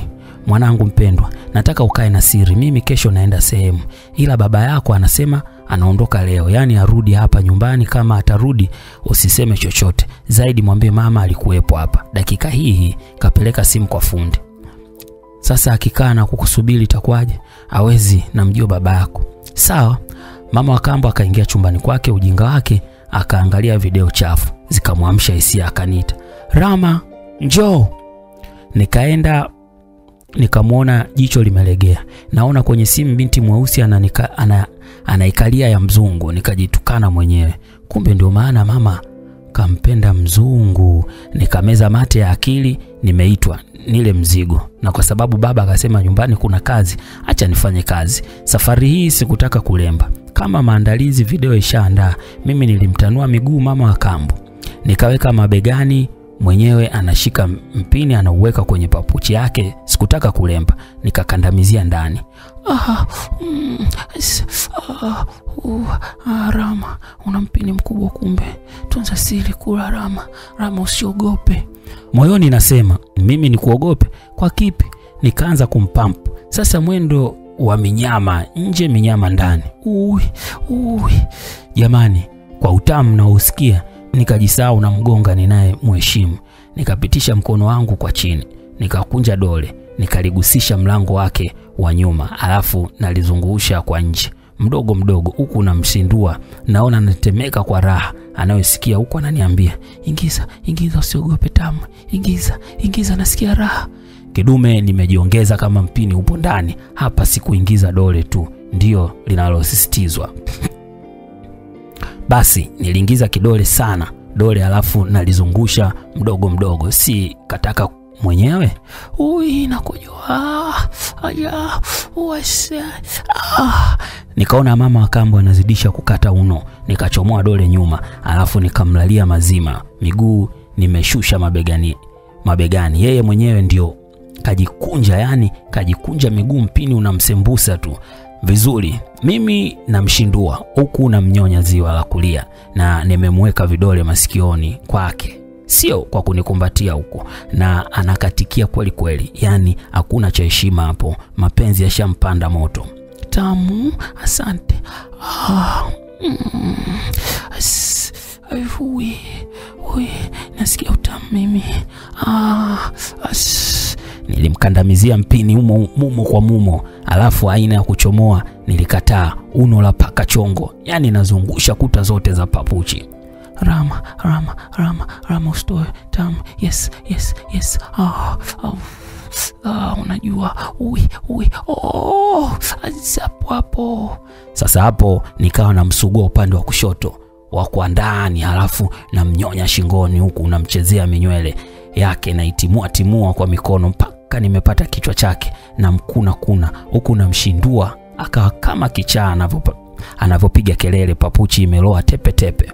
Yote yako ayu kulalama, yote yako ash, um, raha mimi jamani. Ah, mama mpendwa, sitaki usafiri, usiniite mama tukiwa kitandani, niite mpenzi. Sawa, sisafiri. Oh, mm, ash, asante. Nikaona afadhali asisafiri, akaenda kumaliza mwanaye pasipo kujua. Sasa nikamnyanyua mguu mmoja, alafu nikamlamba unyayo huku na mpampu. Hajawahi kupelekewa moto kwa kufanyiwa hivyo. Alipiga kelele mpaka anasema, wewe fundi, nakupenda. Ah, ah, unanifanyia vitu sijawahi fanyiwa. Ah, jamani, mimi ui tamu. Asante, asante. Na mimi bichwa hilo, mkono mmoja nikashusha kwenye gear sports yake, yani kis, nikawa na kisugua na dole gumba huku na mpampu huku na mlamba unyayo, alimwaga kweli kweli, na mimi nikaona bao linakuja, nikachomoa kwanza, nikamwambia bongoa. Yani akuwa mbishi, moja kwa moja akageuka akabongoa bongo, akanisusia mazima kidume nikashika mpini nikapiga brush kidogo tu kwenye mashavu, alafu nikaukandamizia ndani. Huo unapita, naona na yeye anarudi kwa nyuma, nia uzame zaidi kwenye papuchi yake. Hapo nikawa nampa uno la nje ndani, huku namchezea makalio yake na ya minyaminya. Ah, mm, as, ah, jamani, uwe mtoto utaniua. Ah, Rama, Rama, Rama, kojoa nikojole jamani, Rama yaani ana hamna bao nililoongeza spidi ya nje ndani, huku napiga piga makalio yake kiufundi, ule upigaji wa kukuza makalio, wanaume wajanja wanajua hiyo, na bao kweli likaja, nikawa namwagia sasa. Asante, nalisikia bao tamu, asante, nakupenda. Ah, ui. Nilipomaliza kumwaga nikachomoa mpini, yeye mwenyewe anaushika anaufutafuta, huku analembua macho. Mara simu yake ikaita, kuangalia ni mwanawe ndio anapiga, akaniambia matatizo yangu yanapiga, sijui yameshi yamemshinda huko alipo. Halo mama, nakuita mara ya pili. Mama, naomba uachane na mimi. Kwa nini unamtuma mama Siwema anifuatilie? Mimi nishaamua kuwa na maisha yangu, niache. Sitaki wewe ulinipiga kwako au ukumbuki. Mama wa kambo alikata simu, akujibu kitu na akaniambia, huyu mama Siwema namwandikia SMS ya nini sasa? Anamfuatilia Pili, sasa anamwambia achane na mwanangu, ila mama si wema ni mzazi kama wewe, inawezekana anamfuatilia kwenye mazuri, ndio sitaki amfuatilie anaye mtoto wake. Si wema si amfuatilie. Na huyu atakuwa anatembea tu na mume wangu. Mama, yamerudi tena nayo. Rama, niache nifanye nachofanya. Sawa. Mama Akambo akaandika SMS kubwa kwa mama Siwema, tena kwa mwandiko mkubwa Mama Siwema, sitaki umfuatilie mwanangu, muache na maisha yake. Sitaki, sitaki. Mimi ndio mama wa pili, mfuatilie mwanao. Mama Siwema naye akajibu kwa mkato, poa. Mama wa kambo akaenda kuoga na mimi nikatoka chumbani kule nikaenda kulala, nasubiri wiki ikatike ili niende kwa mlinzi niendelee na kutafuta kazi. Upande wa dada wa kambo akamwambia baba, naomba nikakae nje ya mji kidogo, niwe na uhuru na wewe huku hakuna anayenijua hapa. Naona mama Siwema ananifuatilia sana. Hata mimi nilikuwa nafikiria hilo. Sasa usiwe na wasiwasi, kesho kutwa utaenda kukaa wilaya nyingine kabisa, huko tukae kama mke na mume. Unajua umeniteka wewe dadi bwana. Aya, sawa, kama nimekuteka na mimi si umeniteka, nakupa peke yako e, na ndio maana wewe mtamu, mali ya peke yangu. Acha niwahi kazini. Sawa, uwai kurudi ujue unile mimi na kusubiri leo, nina hamu nayo natamani usiende kazini. Ah, nitawahi kurudi, usijali, niandalie vizuri nije kula tunda langu. Sawa. Baba kaondoka, dada wa kambo akaenda kwa Kungwi kuongeza ujuzi azidi kumteka baba, na Kungwi ana kazi mbaya, si alikuwa anatoa somo huku na wanaume wapo, yani hili hmm, mbuzi kagoma kwenda. Hiyo ni staili nzuri na ina utamu wake. Kwa wale wanawake wanaopenda kuitumia hii hapa, wanajua nini nasema. Ila ukitaka mwanamke hii staili upewe utamu mpaka ulopoke maneno, relax, laza kichwa chini, miguu ichanue, miguu mgongo binue. Mwanaume unapoanza shughuli yako, mchezo unapochanganya, mwanamke fanya kitu kimoja pitisha mkono wako kwa chini, uwe unajisugua kisimi mwenyewe, huku mwanaume ameshikilia kiuno chako. Mwanaume sasa unafanya kula tunda kwa spidi ya kiasi fulani, kisha kuna muda usiingize yote, ingiza kichwa na, um, na umsugue juu juu. Kuna namna unakuwa unakuna mashavu ya ya kitumbua e, na utamsikia anavyotoa milio ile. Kama anakula, mau, anakula mua hivi Mwanaume unatakiwa uongeze ufundi, zamisha yote tena, kisha ukiweza muinamie mpenzi wako, lamba shingo yake na sogea sikioni mwake, fanya kutoa pumzi ya mahaba. Hmm, katika sikio lake, huku mashine yako ikiwa imezama yote, unapokecha tu ndani, huku mwanamke aendelee kusugua kisimi chake taratibu. Lazima ufike kileleni kwa utundu huo, mshikiliane na mnatakiwa mshikiliane na mshirikiane. Wanaume walicheka sana, huku wanasema eh, kungu Kiguru, wewe mkali wa haya mambo. Dada wa kambo akaondoka spidi asija akatongozwa. Sasa kuna demu moja na yeye akatoka na dada wa kambo. Yule demu mcharuko akamwambia dada, dada wa kambo, ila kuna muda ubao unakuwa mtamu mpaka unatamani usilale. He, eti ile mnagongana, mwanaume anakojoa, mnapumzika kidogo kwa manjonjo, unauchezea unasimama tena, ile unasimama umeingia tu hmm, unaanza kusikia utamu, unakuta yani unalala. Hili ni tatizo gani? Shoga, mimi sijawahi kukutana nalo, ila mapenzi ya wizi matamu nyie. Imagine una seksi na mtu kwa kificho, huku unahofia kukutwa. Unamaanisha nini? Yaani ukitembea na mume wa mtu raha, au wewe hujawahi kutembea na mume wa mtu? Sijawahi mimi, na wala sitaki kutembea na mume wa mtu, dada wa kambo alijibu. Sasa huku unakuja kuongeza ujuzi, umteke mumeo? Shoga, kwani vipi? Naona maswali yanakuwa mengi. Hii jamani, si tunaongea tu, wote wanafunzi wa Kungwi Kiguru. Mimi nakuja huku nataka nimteke mume wa mtu nimwendeshe kama na akili nzuri. Yule dada aliongea huku sura ikiwa imemshuka. Huyo wewe sio mimi, kwa heri, acha niite pikipiki niondoke, dada wa kambo alijibu. Dada wa kambo aliona kama yule demu amekuja kumchimba chimba, aliondoka kweli, huku ana anawaza kufanya mapenzi na baba jioni. Na kweli jioni kafika. baba kama kawaida anapenda vitu vitamu, akawahi kurudi kula vitu vitamu. Upande wetu mama wa kambo alikuwa ananipa heshima yote. Jioni hiyo kaniwekea chakula mezani na si kawaida yake.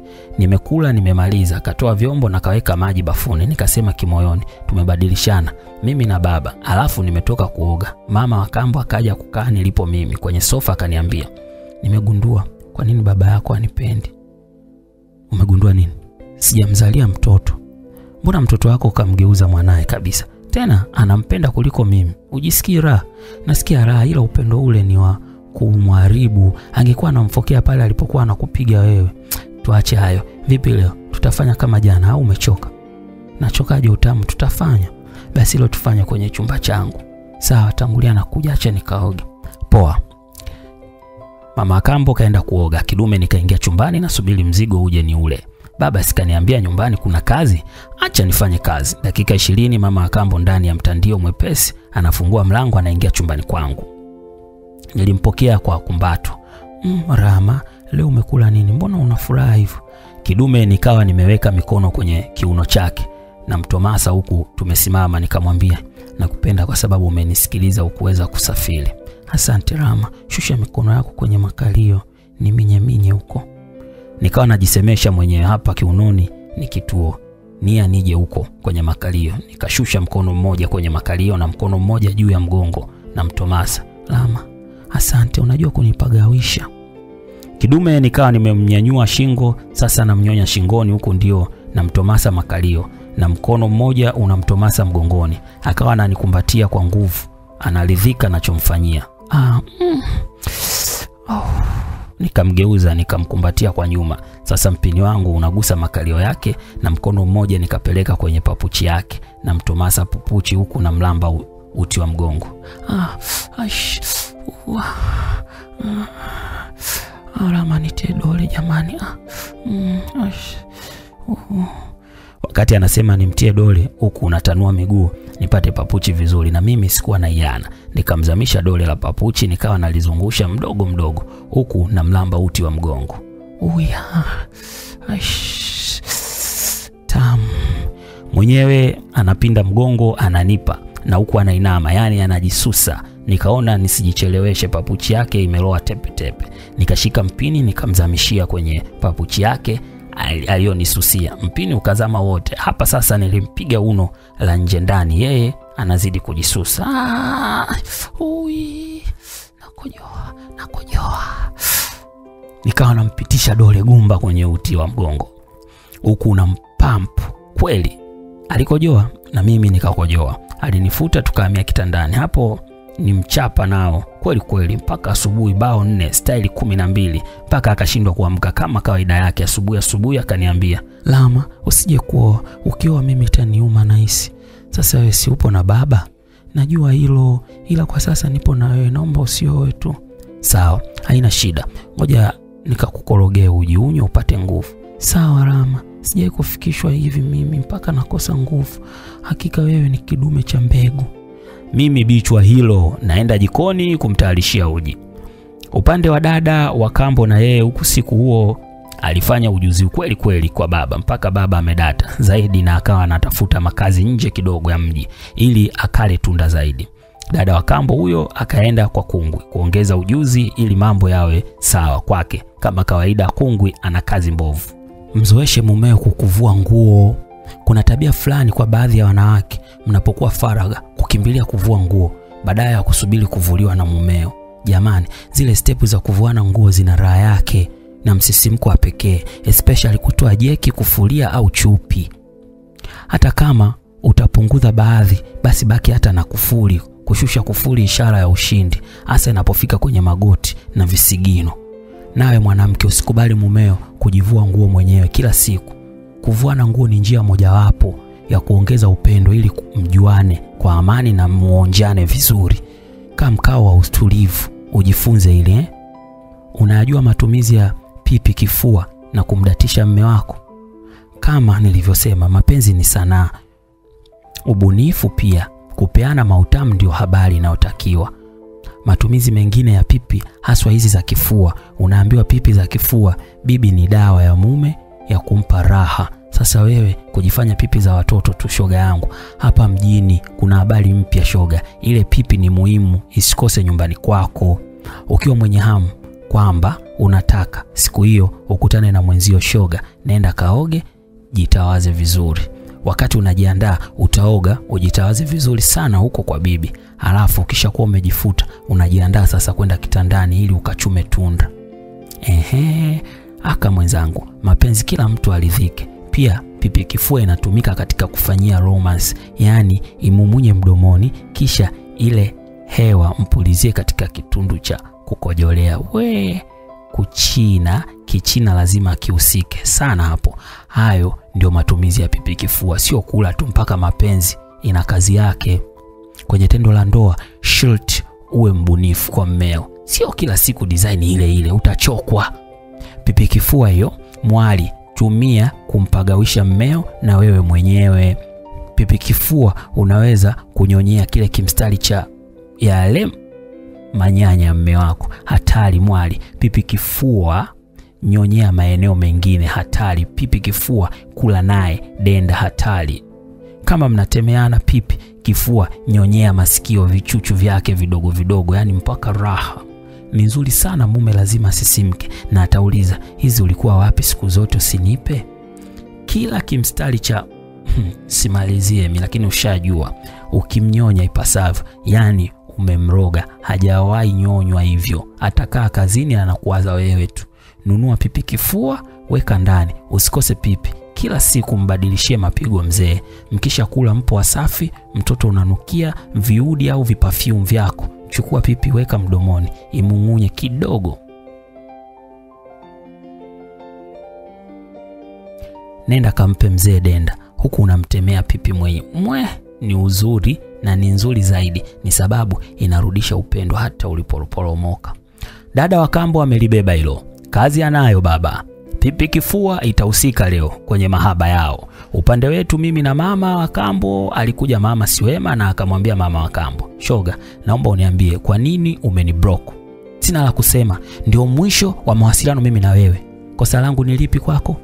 Unalijua, unadhani mimi mtoto mdogo, alafu naomba uondoke tu kwangu. Kifupi, futa namba yangu. Siwezi kufuta, ila sitokupigia, mimi naondoka. Sawa, nenda. Lama, naomba unisindikize. We mama Siwema, huyu Rama ndio umsimguse, uliyemgusa inatosha. Shoga, nimemgusa nani mimi? Niambie kwanza. Nikaona hapa kutawaka. Mama wa kambo ameshikwa na hasira, anawaza mtu wa karibu ni mama Siwema, anatoka na baba. Sikaanza kusema Unadhani mapenzi yana siri wewe? Si unatembea na Sasa kabla hajamalizia nikamziba mdomo na nikamwambia, nenda chumbani mama, sitaki maneno hapa. Rama, mwache aongee, natembea na nani? Mama Siwema, nakuomba mimi, toka nje urudi kwako. Nyinyi ni mashoga, si vizuri kugombana. Bahati nzuri mama Siwema akatoka nje, nikapanga kwenda kwake kumtuliza. Sasa nikamwambia mama wa kambo, mama, maneno ya kwa mganga usimhukumu mtu mazima, kwa sababu inawezekana ikawa si kweli. Rama, huyu anatoka na baba yako, na hapa alikuwa anakutamani wewe, ndio maana nilitaka kumkomesha. Mama, usiwe na hasira kiasi hicho, sawa? Siku ikapita, upande wa dada wa kambo akahama na akaenda kukaa na baba kama mke na mume. Mimi nilitumia simu iliyonipa rasmi kwenye michongo yangu, nikaenda kwa mlinzi na mlinzi akaniambia, sasa kuna sehemu nimekutafutia kazi ukafanye, na ufanye kazi ujiokoe kwenye haya maisha. Sawa, mimi nitafanya kazi sana tu. Sawa. Kweli mlinzi aliniunganisha kazi na nikafanya kazi kwa wiki mbili. Nishazoea kazi. Nikakutana na baba njiani akaniambia, wewe umekuwa sasa hivi, si unajifanya una haraka na maisha pale kwangu, sitaki nikuone. Baba, hata mshahara sijapata, sasa nita, nitakaa wapi? Utajua mwenyewe. Nimesema hivi, pale kwangu nisikuone tena, nampigia mama yako nimwambie. Baba alimpigia mama wa kambo. Nilimwona baba ni mtu wa ajabu sana, na anasisitiza kabisa nisikanyage kwake. Machozi alinitoka, hata ulie nisikuone kwangu. Basi mimi nikaenda kwa mlinzi nikumwambia yaliyonikuta. Akaniambia, wazazi wako nadhani akili hawana. samani kama nimekukwaza. Hata huyu mama yako yupo kwenye mtihani sana sasa hivi, mzungu anataka mtoto na mama yako hawezi kushika mimba. Hata hivyo wamesafiri, wameenda nje huko kufanya utaratibu wa mama yako kupata mtoto. Sawa, hilo lao. Mimi nitaishi vipi na kazini mshahara sijalipo? Wewe utakaa geto langu, mimi si ndo masaa yote nipo hapa nalinda hilo, usiwazi. Poa, wewe ni ndugu yangu kabisa. Mlinzi alinipa funguo na akampigia mwenye nyumba wake akampa maelekezo, na kweli nikaanza kukaa kwa mlinzi. Mama kambo akanipigia simu akaniambia, Rama, na kutumia pesa ulale guest, kesho tutajua cha kufanya. Baba yako amekomalia, wewe usikanyage nyumbani hapa. Mama, usipate tabu, nimepata hifadhi. Mimi nakaa kwa rafiki yangu. Rama, rafiki yako wa kike au wa kiume? Wa kiume. Wewe usiwaze, mimi ni mwanaume na maisha popote. Baba si amenikataa freshi. Mama Kambo akataka kusema neno, simu yangu ikazima, nikaweka chaji. Upande wa baba akaenda kumwambia dada habari zangu, na dada wa Kambo akamwambia, sasa badala umfukuze mama unamfukuza Rama, kwenye mji ule ataenda wapi eh? Mai, achana naye, yes, kakuwa mwache apambane. Basi alinyamaza huku moyoni anaumia. Walilala, ila siku hiyo ajapewa papuchi. Dada wa kambo akasingizia tumbo linamuuma. Asubuhi asubuhi baba alivyoondoka alinipigia simu na nikapatikana. Rama, vipi? Poa, niambie. Pole sana, tunaweza kuonana? Aa, nipo kazini, natoka jioni. Sawa, jioni naweza kuja kukuona au kuonana na wewe? Wapi unataka tuonane? Si unapakumbuka pale guest corner lounge? Ndio. Basi nakutumia pesa, uniambie upo chumba namba ngapi baadaye. Poa. Basi alituma pesa dada wa kambo. Mimi sioni kinyaa, nishavurugwa na maisha yangu. Muda wa kutoka kazini ukafika, nikaenda kumpanga mlinzi kiuongo. Kuna sehemu naenda mara moja, na mlinzi akaniambia uwe makini tu, uwahi kurudi geto ukalale. Poa. Huyo nikaenda zangu kona ronji mpaka pale gesti, nikachukua chumba nikampigia, nikampanga, na dada wa kambo akajua jinsi ya kumpanga baba, akawa anakuja kwangu. Sasa kweli ilifika, dada wa kambo ana makalio makubwa kuliko mama yake. Alipoingia gesti alinikalia mazima, huku akiniambia Rama, pole, ila nitakupa pesa upange chumba chako, usijali, nina sehemu nakaa. Yeye anasema huku ananichezea kidevu, na mimi nasema huku namchezea nywele zake. Rama, kwa hiyo utaki pesa yangu? Naitaka, itanisaidia kwa mambo mengine. Nikaacha kumchezea nywele, nikawa namchezea mgongo. Naona maongezi yakaisha, kila mmoja kamvua mwenzie nguo na juu tukaanza kutoma sana. Mimi mzuka ukapanda, nikamweka kitandani. Rama, nivue sketi. Hapo hata mwanaume uwe na msimamo kwamba mwanamke akutumi, ila akikutuma kazi hii mwenyewe unafanya kidume. Nikamvua sketi, akabaki na taiti tu, nikashika taiti naivua, huku naona tumbua hili hapa. Mapenzi uchafu, sijawaza huyu analiwa na baba wala mimi. Nina nilimtanua miguu alafu kidume nikazama chumvini taratibu, nimetoa ulimi na mlamba gia, gia sport kwa ncha ya ulimi. Ah, uf, ui. Alitoa mguno huku anajikunja miguu yake, amejitanua vizuri, yani naona kila kitu hapa. Ndio maana tunakufa macho mapema wanaume. Nikashusha ulimi kwenye mashavu yake ya popuchi na yalamba huku namchezea gia yake kwa dole gumba. Rama we au ash. Nikamtanua mashavu ya papuchi alafu nikaingiza ulimi kidogo kwenye wekundu wa papuchi. Sasa na ulamba yeye mwenyewe anajichezea maziwa yake huku anakatika mdogo mdogo kiuno. Ah, mm, mm. Ah, uwe. Uwe. raha nasikia. Kidume nikashusha ulimi kwenye kinyama mtenganisho, nikaanza kukilamba kile kinyama. Akikata kiuno, ulimi unagusa nyum, nyumani kwake, basi akigusa ulimi nyuma kwake anasisimka mwili mzima. Kidume nimedhamilia langu, nikauweka ulimi kwa nje nyuma pale, nikawa na mlamba mdogo mdogo kwa ncha ya ulimi, huku nimemwingizia dole mbele, dole la kati na mpampu kwa kidole. Ui, nakojoa mm, nakujua, ui nakojoa mm, ah, asante, nikasema kimoyoni, na bado utakojoa sana. Nikaongeza spidi ya kumpampu kwa dole, huku nimeongeza spidi ya kumlamba nyuma. Akazidi kupagawa, akanishika kichwa changu, huku anakatika kiuno kwa spidi. Nakojoa, nakojoa, nakojoa, nakojoa yote yako, asante.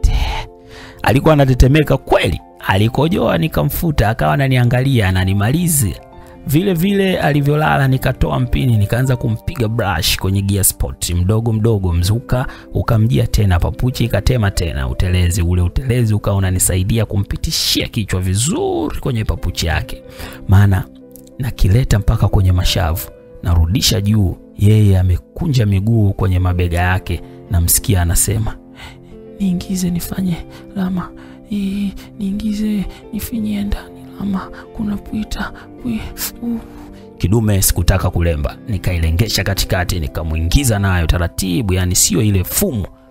Ipo ndani, na yeye mwenyewe anasindikiza kwa kuikatikia kiuno, mpini ukazama, na nikaanza kupampu mwendo wa minyama nje, minyama ndani. Ah, uh,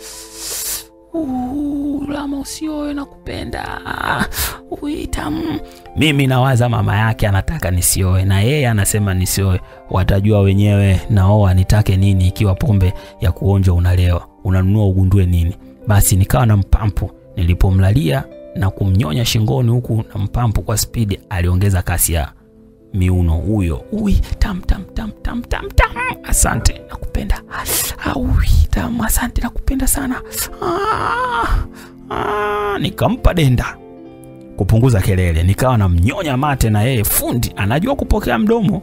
Mwishoni na mwaga na yeye anamwaga, tukawa hoi kidogo. Akaniambia, Rama, natamani nilale na wewe, ila kuna sehemu naenda. Asante kwa kunikojolesha. Unajua kuna wanaume hawajui kukojolesha wanawake.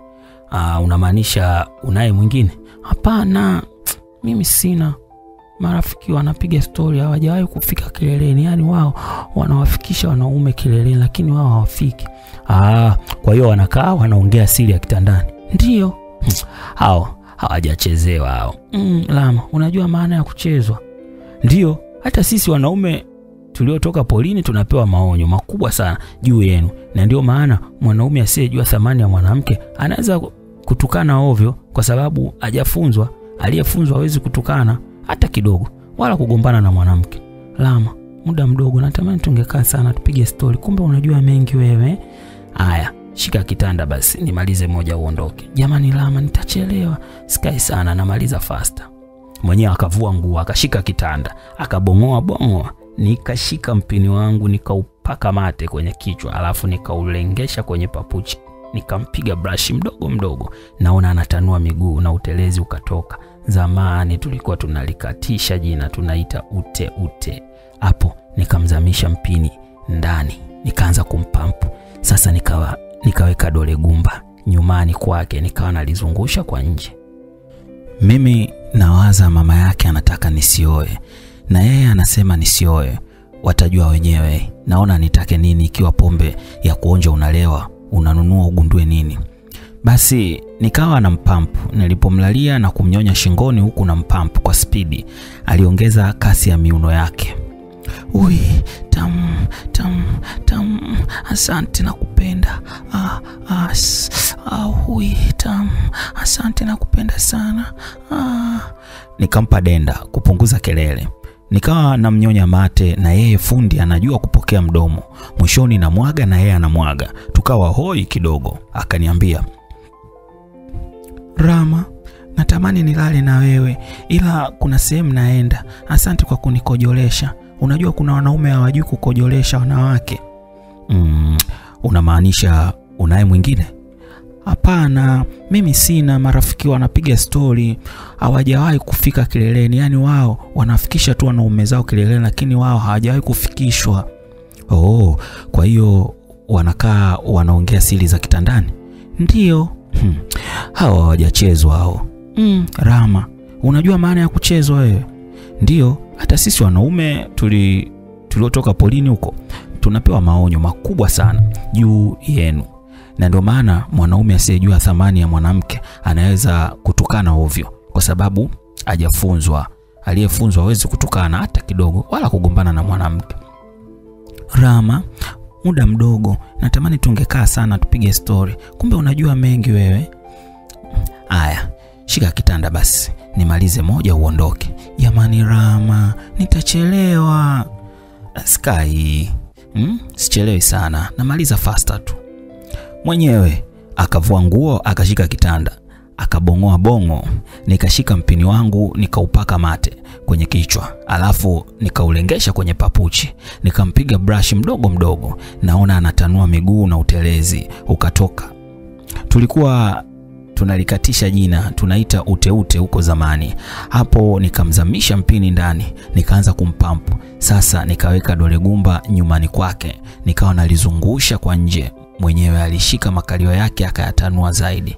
Rama, ingiza tu. Ah, ah, asante.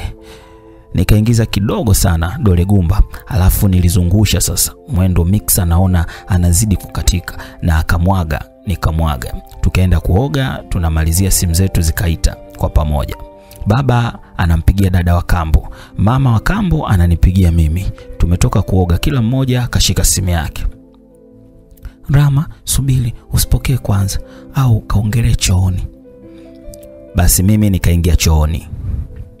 Halo Rama, nina nyege sana, niambie upo wapi nikufate, unitoe nyege mpenzi wangu.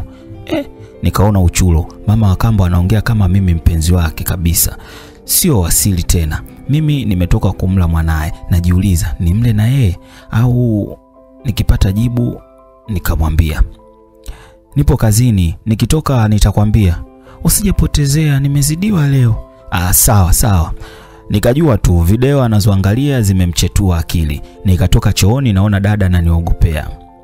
Ah, nilikuwa naongea na mama. Sasa angesikia sauti yako angeniuliza mpo wapi. Hapo ndio umuhimu wa koromeo na uona. Nikamwambia poa, na mimi nilikuwa naongea na baba.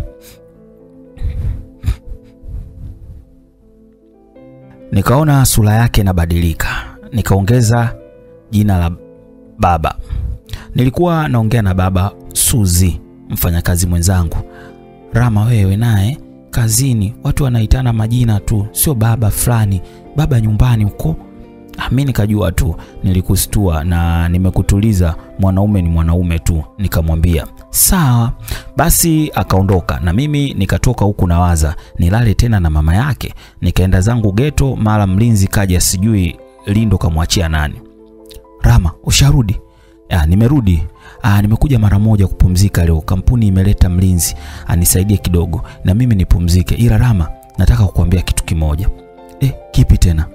Wewe unafanya kazi na unapofanya kazi utapata pesa. Chunga sana na anasa. Unajua wengi walioanza kupata pesa hawajawahi kufanya la maana, kwa sababu wanaingia kwenye starehe, ila wachache wenye kukaa na waanga wa starehe walifanikiwa. Mimi ni muanga wa starehe, ndio maana nakushauri wewe. He, unamaanisha nini? Yaani hawa wanawake kila mmoja ni mzuri. Ngoja nikwambie mfano huu. Ukiwa Dar es Salaam, maduka ya mchele huwa yanajinadi kwa mbwembwe, mchele safi kutoka Mbeya. Ukishafika Mbeya unakutana na maduka ya mchele ya kijinadi, pata mchele safi kutoka Kiera. Ukifika zako hapo mjini Kiera unakutana na maduka ya mchele nayo yanajinadi, tunauza mchele supa kutoka Ipinda. Hmm. Unakufahamu Ipinda wewe? Ukishafika unakwenda zako duka la mchele, muuzaji anakwambia huu ni mchele supa kabisa kutoka bonde la Tenende. Alafu ikitokea ukazurula hadi Tenende, wenyeji wanakwambia mchele supa ni ule wa shamba la mzee Manjoli. Ukifika kwa mzee Manjoli anakwambia mchele supa ni ule wa shamba la mke mkubwa. He, utashangaa. kila kizuri kina kizuri zaidi yake. Sawa, nimekuelewa. Niliamua kucheka lakini nilimuelewa. Basi uwe makini sana. Basi mimi nikakaa kimya, huku unasema starehe mimi sina, starehe zenyewe nilizo nazo zinanilipa zenyewe. Mara SMS inaingia kwenye simu yangu ya pesa. Wakati nataka kufungua simu inaita, nikasogea pembeni nikapokea. Haro Rama, nimekutumia hiyo pesa, kachukue chumba na kuja tulale wote leo, ninahamu kama nilivyokuambia. Nikamjibu sawa. Basi mlinzi akaondoka kwenye lindo lake, sijui hajazoea kulala kwenye chumba chake, na mimi nikasema hapa simwagi, naenda kumtafuna mama wa kambo.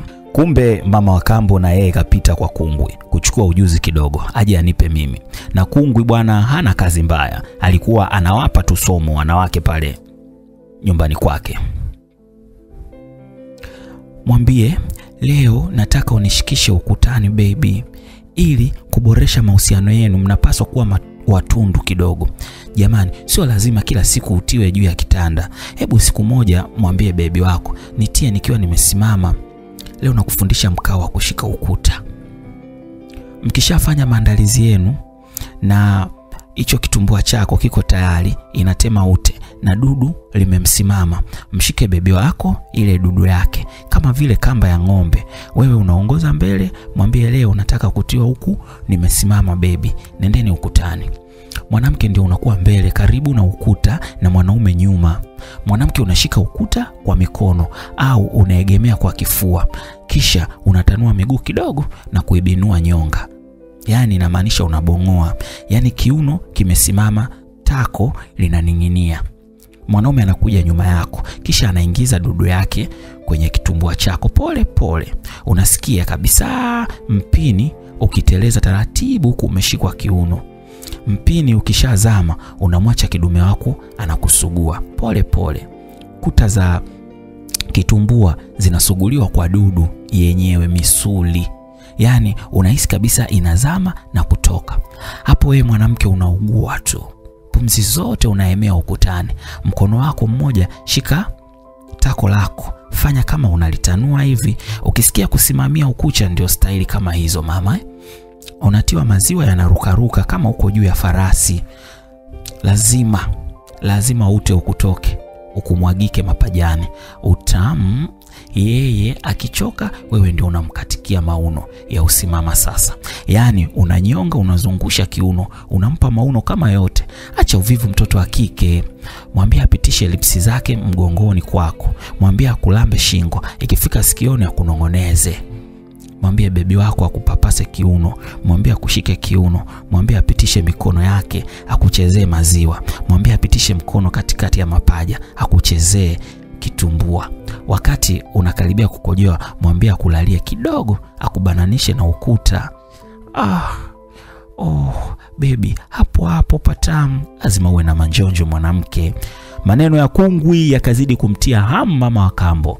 Ananipigia simu, ushachukua chumba? Ndio. Niambie wapi? Kona Ronjuku. pembeni, kuna gesti hapa namba kumi na moja. Poa, anakuja. Yaani mpaka mhudumu alinishangaa, ila shauri yake yeye hajawahi kuona mtu anarudi dukani mara mbili mbili. Alipokuja tu akaniambia, Rama, umenikumbusha mbali. Hapa ndio nilikuwa nakuja na baba yako mwanangu, namwacha pale. Yani wewe sijui nani kakwambia uje hapa. Moyoni nikasema ndio maana mwanawe alinileta hapa, kumbe hapa kitambo, ila mdomoni sikumwambia. Mai, nikikaa na wewe sitaki umtaje baba. Nisamee Mai wangu, sitomtaja tena. Basi alipiga magoti akaniomba nimsamee, nimpe mpini anyonye. Nimezima simu, nataka unifanye kweli kweli, sitaki unionee huruma, naomba nikunyonye huko.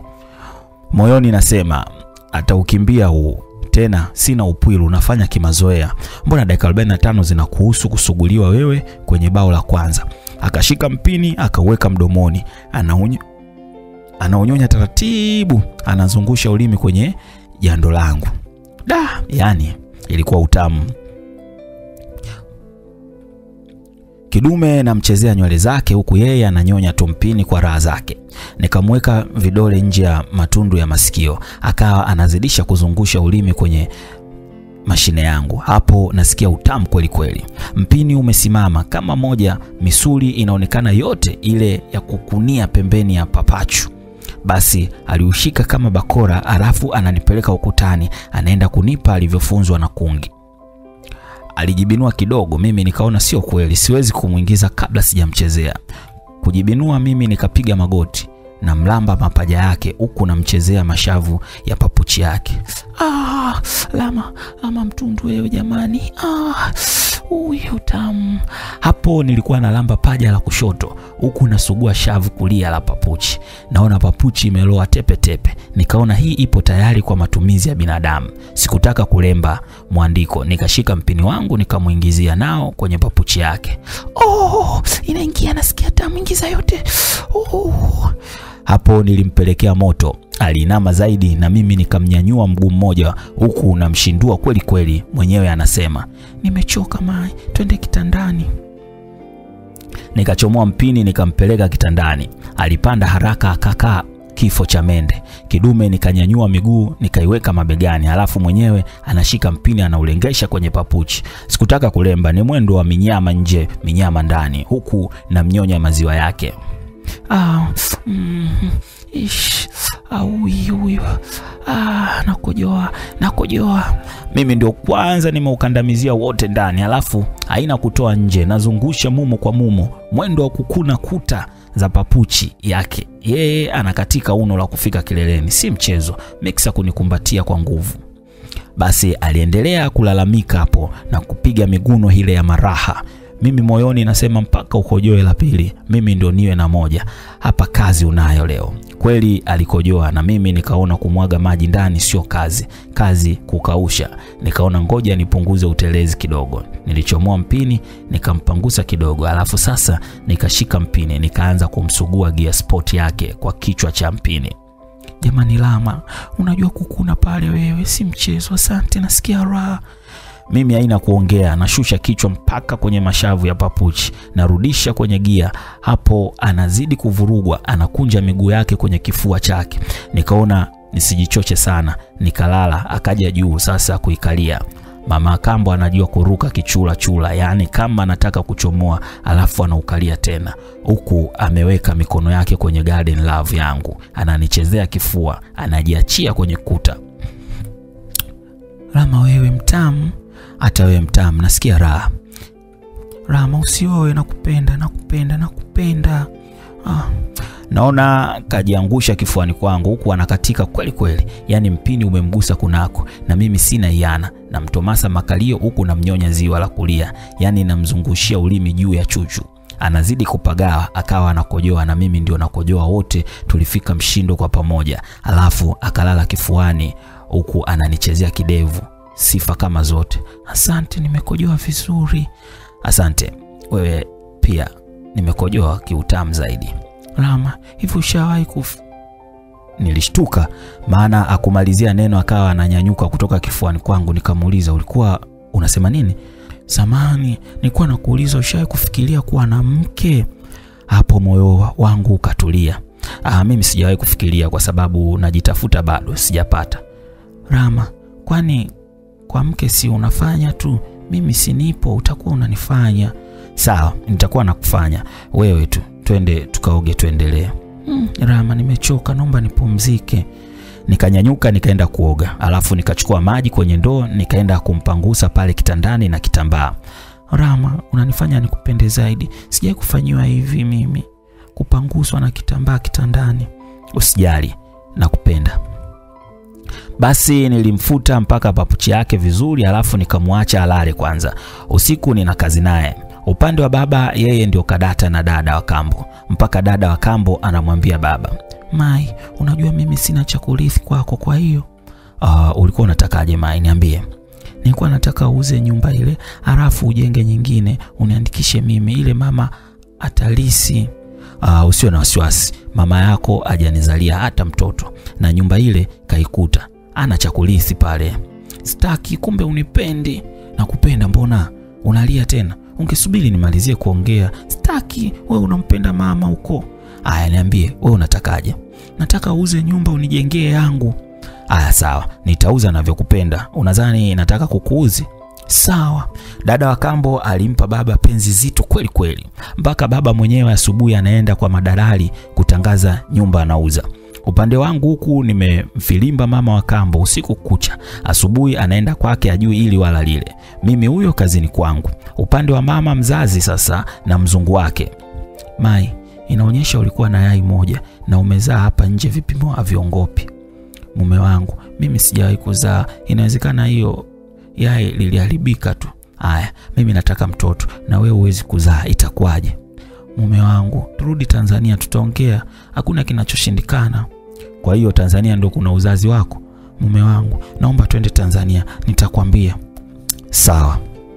Sasa wanarudi Tanzania, mama akiwa anawaza waganga wa kienyeji, huku akiwa anajua kabisa karogwa na Waswahili kisa anatoka na mzungu na mzungu ana mawazo mabaya juu ya mama, yaani mawazo yake ya kishetani. Upande wangu nikarudi kazini, nikakutana na mlinzi. Rama, ushafanya mawasiliano na bibi yako? Ah, kweli umenikumbusha, toka nitoke kule sijawahi fanya mawasiliano naye. Sasa Jumamosi nenda kwa bibi yako huko kijijini, ili Jumapili jioni urudi uendelee na kazi, alafu mama yako yupo njiani anakuja. Kwa hiyo hapa itakuwa wewe ndio mwisho wako kufika, tutaonana nyumbani kule. Nikamwambia sawa. Kweli siku ikaenda, nikaenda kwa bibi. Jamani, nilikuta bibi yangu anaumwa, majirani ndio wamemhifadhi, wameuza mpaka shamba kwa kumtibu.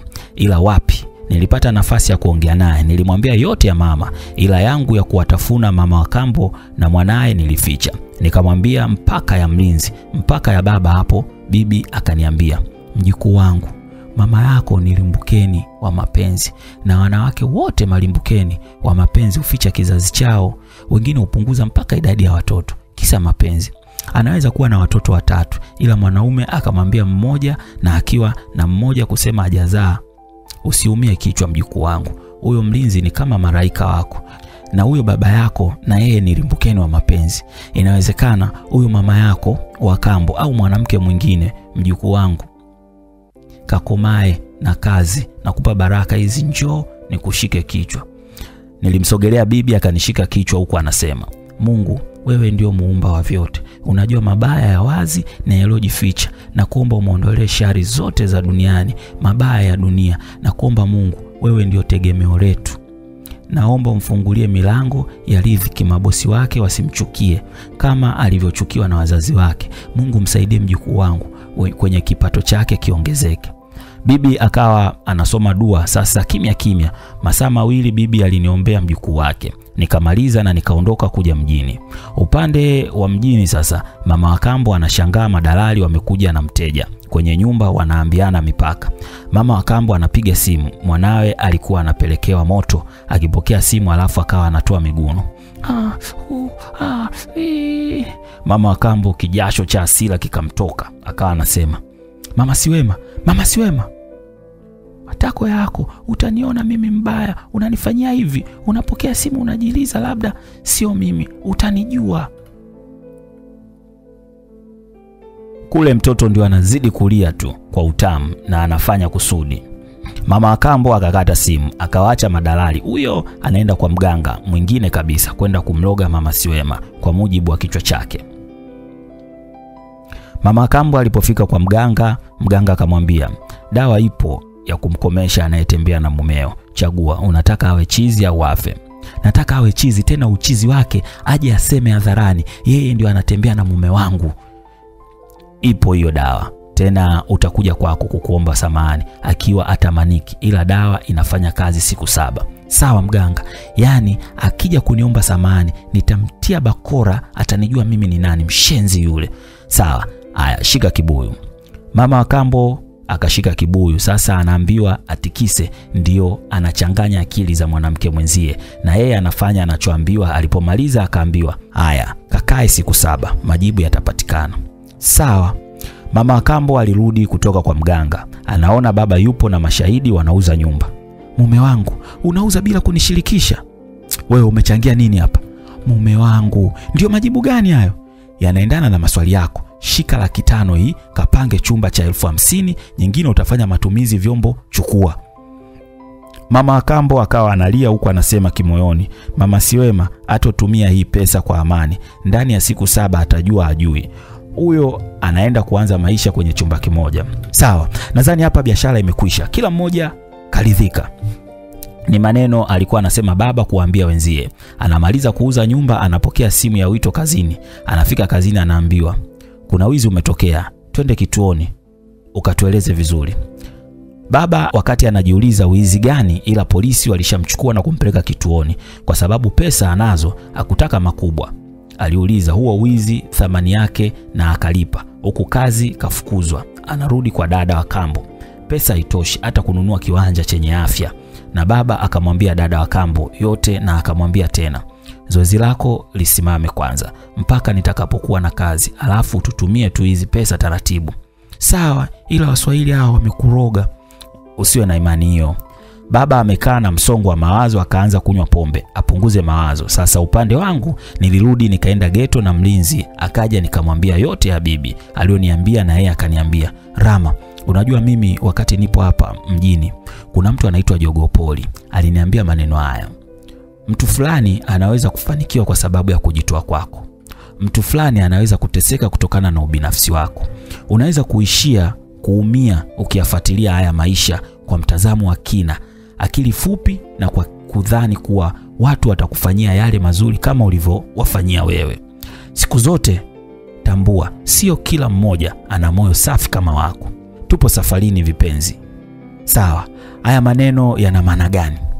Yaani Rama hapa aliposema mtu fulani anaweza kufanikiwa kwa sababu ya kujitoa kwako, yaani ya kukosea wewe pale kazini kwako, umepandishwa cheo, yaani sasa ni bosi pale. Nikikumbuka huu usemi unanigusa, niliyekusaidia umetoboa kwenye haya maisha. Kikubwa uwe makini, maendeleo asikufanye uwe kiburi. Mimi nimepewa taarifa kwa sababu ndio nimekuunganishia pale, kesho mwenyewe utajionea. Sawa, sitokutupa rafiki yangu, wewe ni zaidi ya ndugu. Nasema wewe ni ndugu yangu. Nilimkumbatia mlinzi kwa furaha, huku moyoni nasema dua za bibi zimejibu. Basi akaondoka. Upande wa mama sasa akafika Tanzania, anamwambia mzungu, mimi wameniroga, naomba niende kwa mganga, mtoto tutapata. Mzungu akamwambia maneno mabaya sana, na maamuzi anayo mama. Sikia, mimi sina imani hizo. Sasa wewe huwezi kuzaa, ukikaa na mimi naomba unipe penzi la kinyume na maumbile, kwa sababu huwezi pata mtoto. Sasa niwe na kula starehe tu. Upo tayari tuwe pamoja? Aupo tayari, chukua mabegi yako uende zako. Naomba usiwaze hayo, utaniharibu. Nipe nafasi. Nafasi ni hiyo tu, unaweza unipe huko, uwezi ondoka kwenye nyumba yangu. Umeniongopea, hauna mtoto, kumbe ulizaa. Sina upendo tena. Ukitaka nikupende na nisahau haya, nipe utamu huo. Mama akawa anawaza ajiharibu au aondoke, na akiondoka anaenda wapi? Mzungu akamwacha mama akitafakari na akamwambia, nikirudi usiku nikikukuta nijue umekubali kunipa, nisipokukuta najua ushaondoka.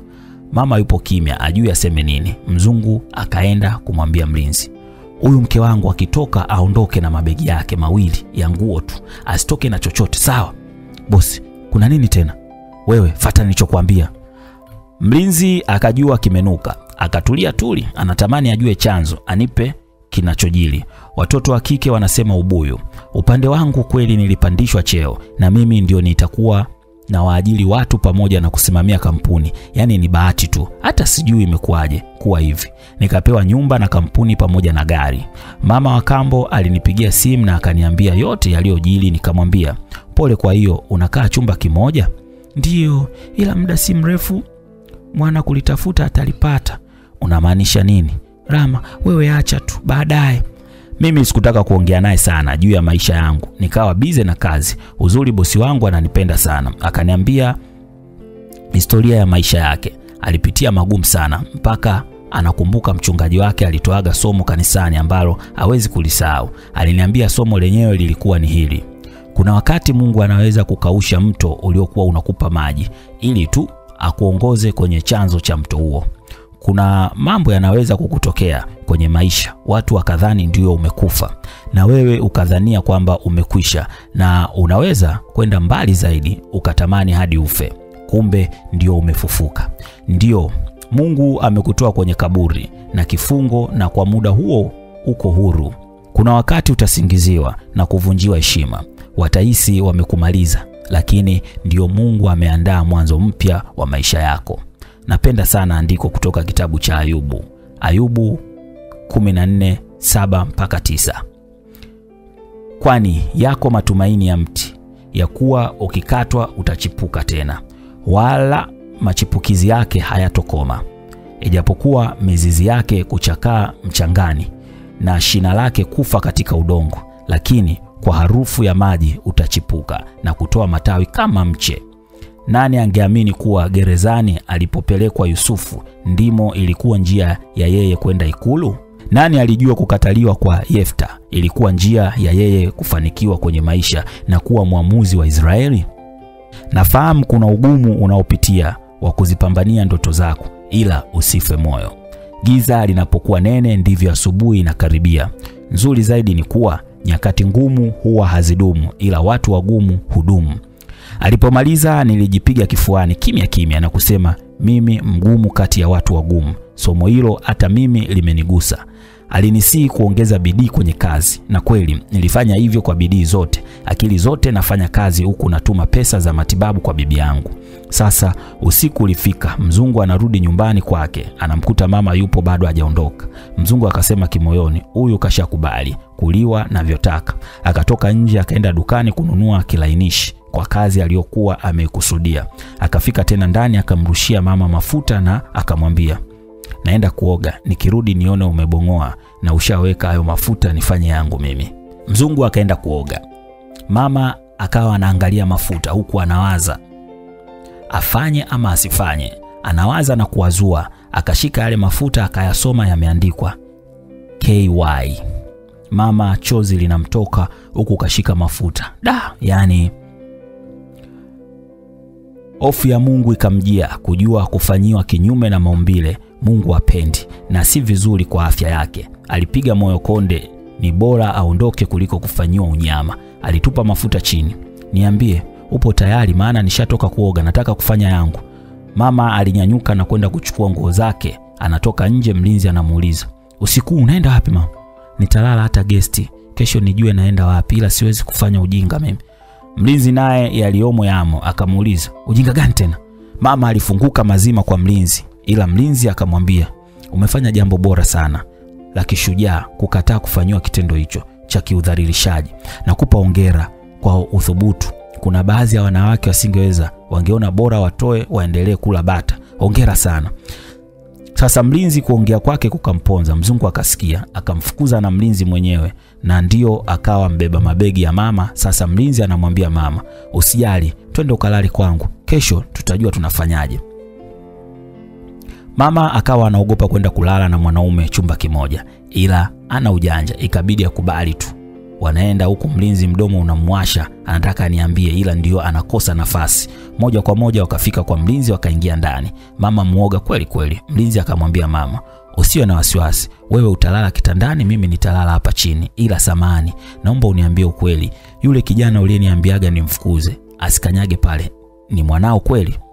Ndiyo mwanangu wa kumzaa, yani tamaa tu zilinifanya niseme vile. Da, kweli kuishi kwingi ni kuona mengi. Haya, tutaongea kesho, acha tulale kwanza. Sawa. Walilala na upande wa baba pombe pombe na yeye mpaka awezi kufanya mapenzi. Sasa ukichaa ukampata pili, yaani dada wa kambo alipiga makelele na kuvua nguo njiani, kila mmoja anamshangaa kule, ajulikani. Dada wa kambo anasema ajigijigijigi na mume wa mtu sio vizuri. Mimi tembea mume wa mtu nampa huku mume wa mtu huku. Sasa anavyosema hivyo ndio anavua nguo, anaonyesha anapompa mume wa mtu. Vijana kwao starehe, ila wamama watu wazima wanaumia moyoni. Bahati nzuri mama Siwema alimuona dada wa kambo, akapiga simu kwa mama wa kambo, kawekwa block, akaomba simu kwa mama mwingine tu, akapiga simu mama wa kambo akapokea. Halo, samani, mimi mama Siwema. Toka zako, sitaki samani yako, ukome wewe, sijeuli. Umekiona sasa, nyoko nyoko wewe. Mama akamba akakata simu. Mama Siwema akajiuliza eh, na huyu kawa chizi au? Ikabidi apige tena simu. inakatwa, akapiga inakatwa, akawaambia wale wa mama, jamani, tumstiri huyu msichana, mama yake namjua, na ikiwezekana tumpeleke kwa mama yake. Huku usiku wanaweza vijana wakambaka huyu. Kweli walikubaliana, umoja ni nguvu. Pili amekamatwa anapelekwa kwa mama yake, yaani mama wa kambo. Walipofika sasa, Pili mwenyewe anasema mama, mama, nimekuchukulia mumeo, nisamee, hihihi, nimetembea na mumeo, nampa huku. Mama wa kambo akadondoka huku anakumbuka, nilimkataza kwenda kwa mganga. Watu wanahangaika kumpepea, wengine wanamzuia Pili asionyeshe huko huku. Upande wa baba anafukuzwa kwenye ile nyumba akiwa yupo pombe. Yeye mwenyewe kwa akili ya pombe anasema, nenda uko mwenyewe, nyumba mbwa wewe, vijana chukueni vitu vyote, mimi nina pesa.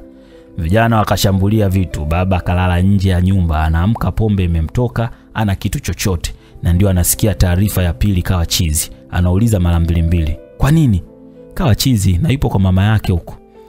Msamaria mwema ndio alimwambia hivyo baba anaenda ajui Pili kashalimwaga huko, kila kitu kipo wazi.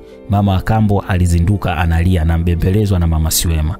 Nyamaza mama Pili, tuangalie jinsi ya kumsaidia Pili. Sina la kusema mimi. Mara baba anaingia, yani mchafu kama Pili, kwa sababu alilala nje hapo.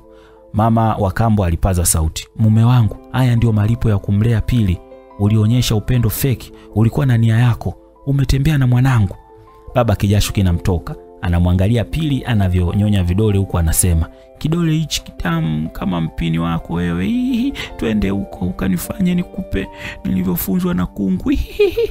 Baba anaona aibu kubwa hii, ameshika kichwa tu, na hapo mama wa kambo akaamua kumwambia mama Siwema, shoga, nisamee, naomba unisindikize huku.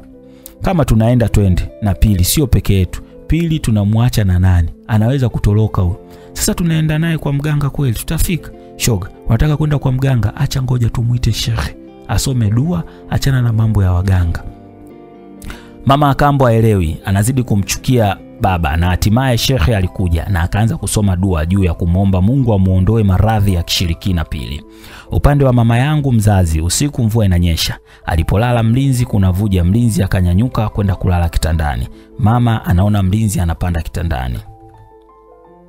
Mama alistuka, ila mlinzi alimwambia usiwe na wasiwasi, sitakudhuru wewe, kuwa na amani tu. Mama akupata usingizi, yaani alilala kwa wasiwasi sana mpaka asubuhi. Mlinzi akamwambia mama, unajua mwanao ni tajiri. Unasema?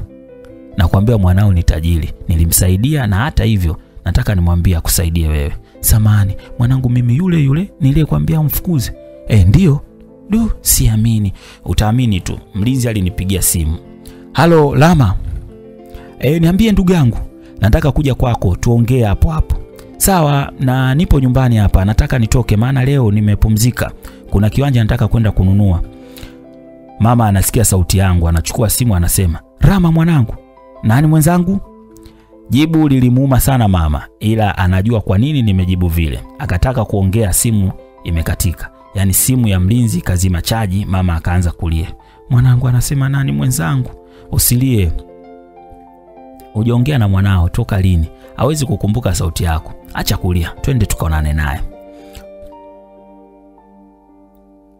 Wakawa wanakuja huku nilipo. Upande wa mama wa kambo, Pili alipona kutokana na dua, na Pili alimpigia magoti mama yake kumwomba sana sana msamahani, na mama ni mama, alimsamehe mwanaye. Kivumbi kipo kwa baba, atakaa wapi? Shoga, umefanya la maana kumsamehe mtoto, na kuhusu mume sina la kusema, mimi naondoka. Mama Siwema, siwezi kukaa na mwanaume huyu, anipe tu taraka yangu na hata mji huu na hama, naenda kijijini, nitaweka wapi sura yangu mimi? Mama Siwema akaondoka na baba alimpa mama wakambo taraka, huku ajui ataishi wapi. Mama wakambo alinipigia simu na kuniambia ukweli wote alioujua, na akakiri hata yeye alikosea kutoka na mimi anajuta. Nilimtumia pesa aende akaanze maisha mapya. Baba kala msoto, analala kwenye vibanda vya chipsi. Upande wangu mama na mlinzi walifika. Mimi nilikuwa naongea na bibi kwenye simu na sikutaka simu. Mama alikuwa anasema, nisamee mwanangu, naomba unisamee, siwezi kusema mengi zaidi ya kusema nisamee tu mwanangu. Mama, usipige magoti, nimekusamee bila wewe, nadhani hata hapa nisingekuwepo.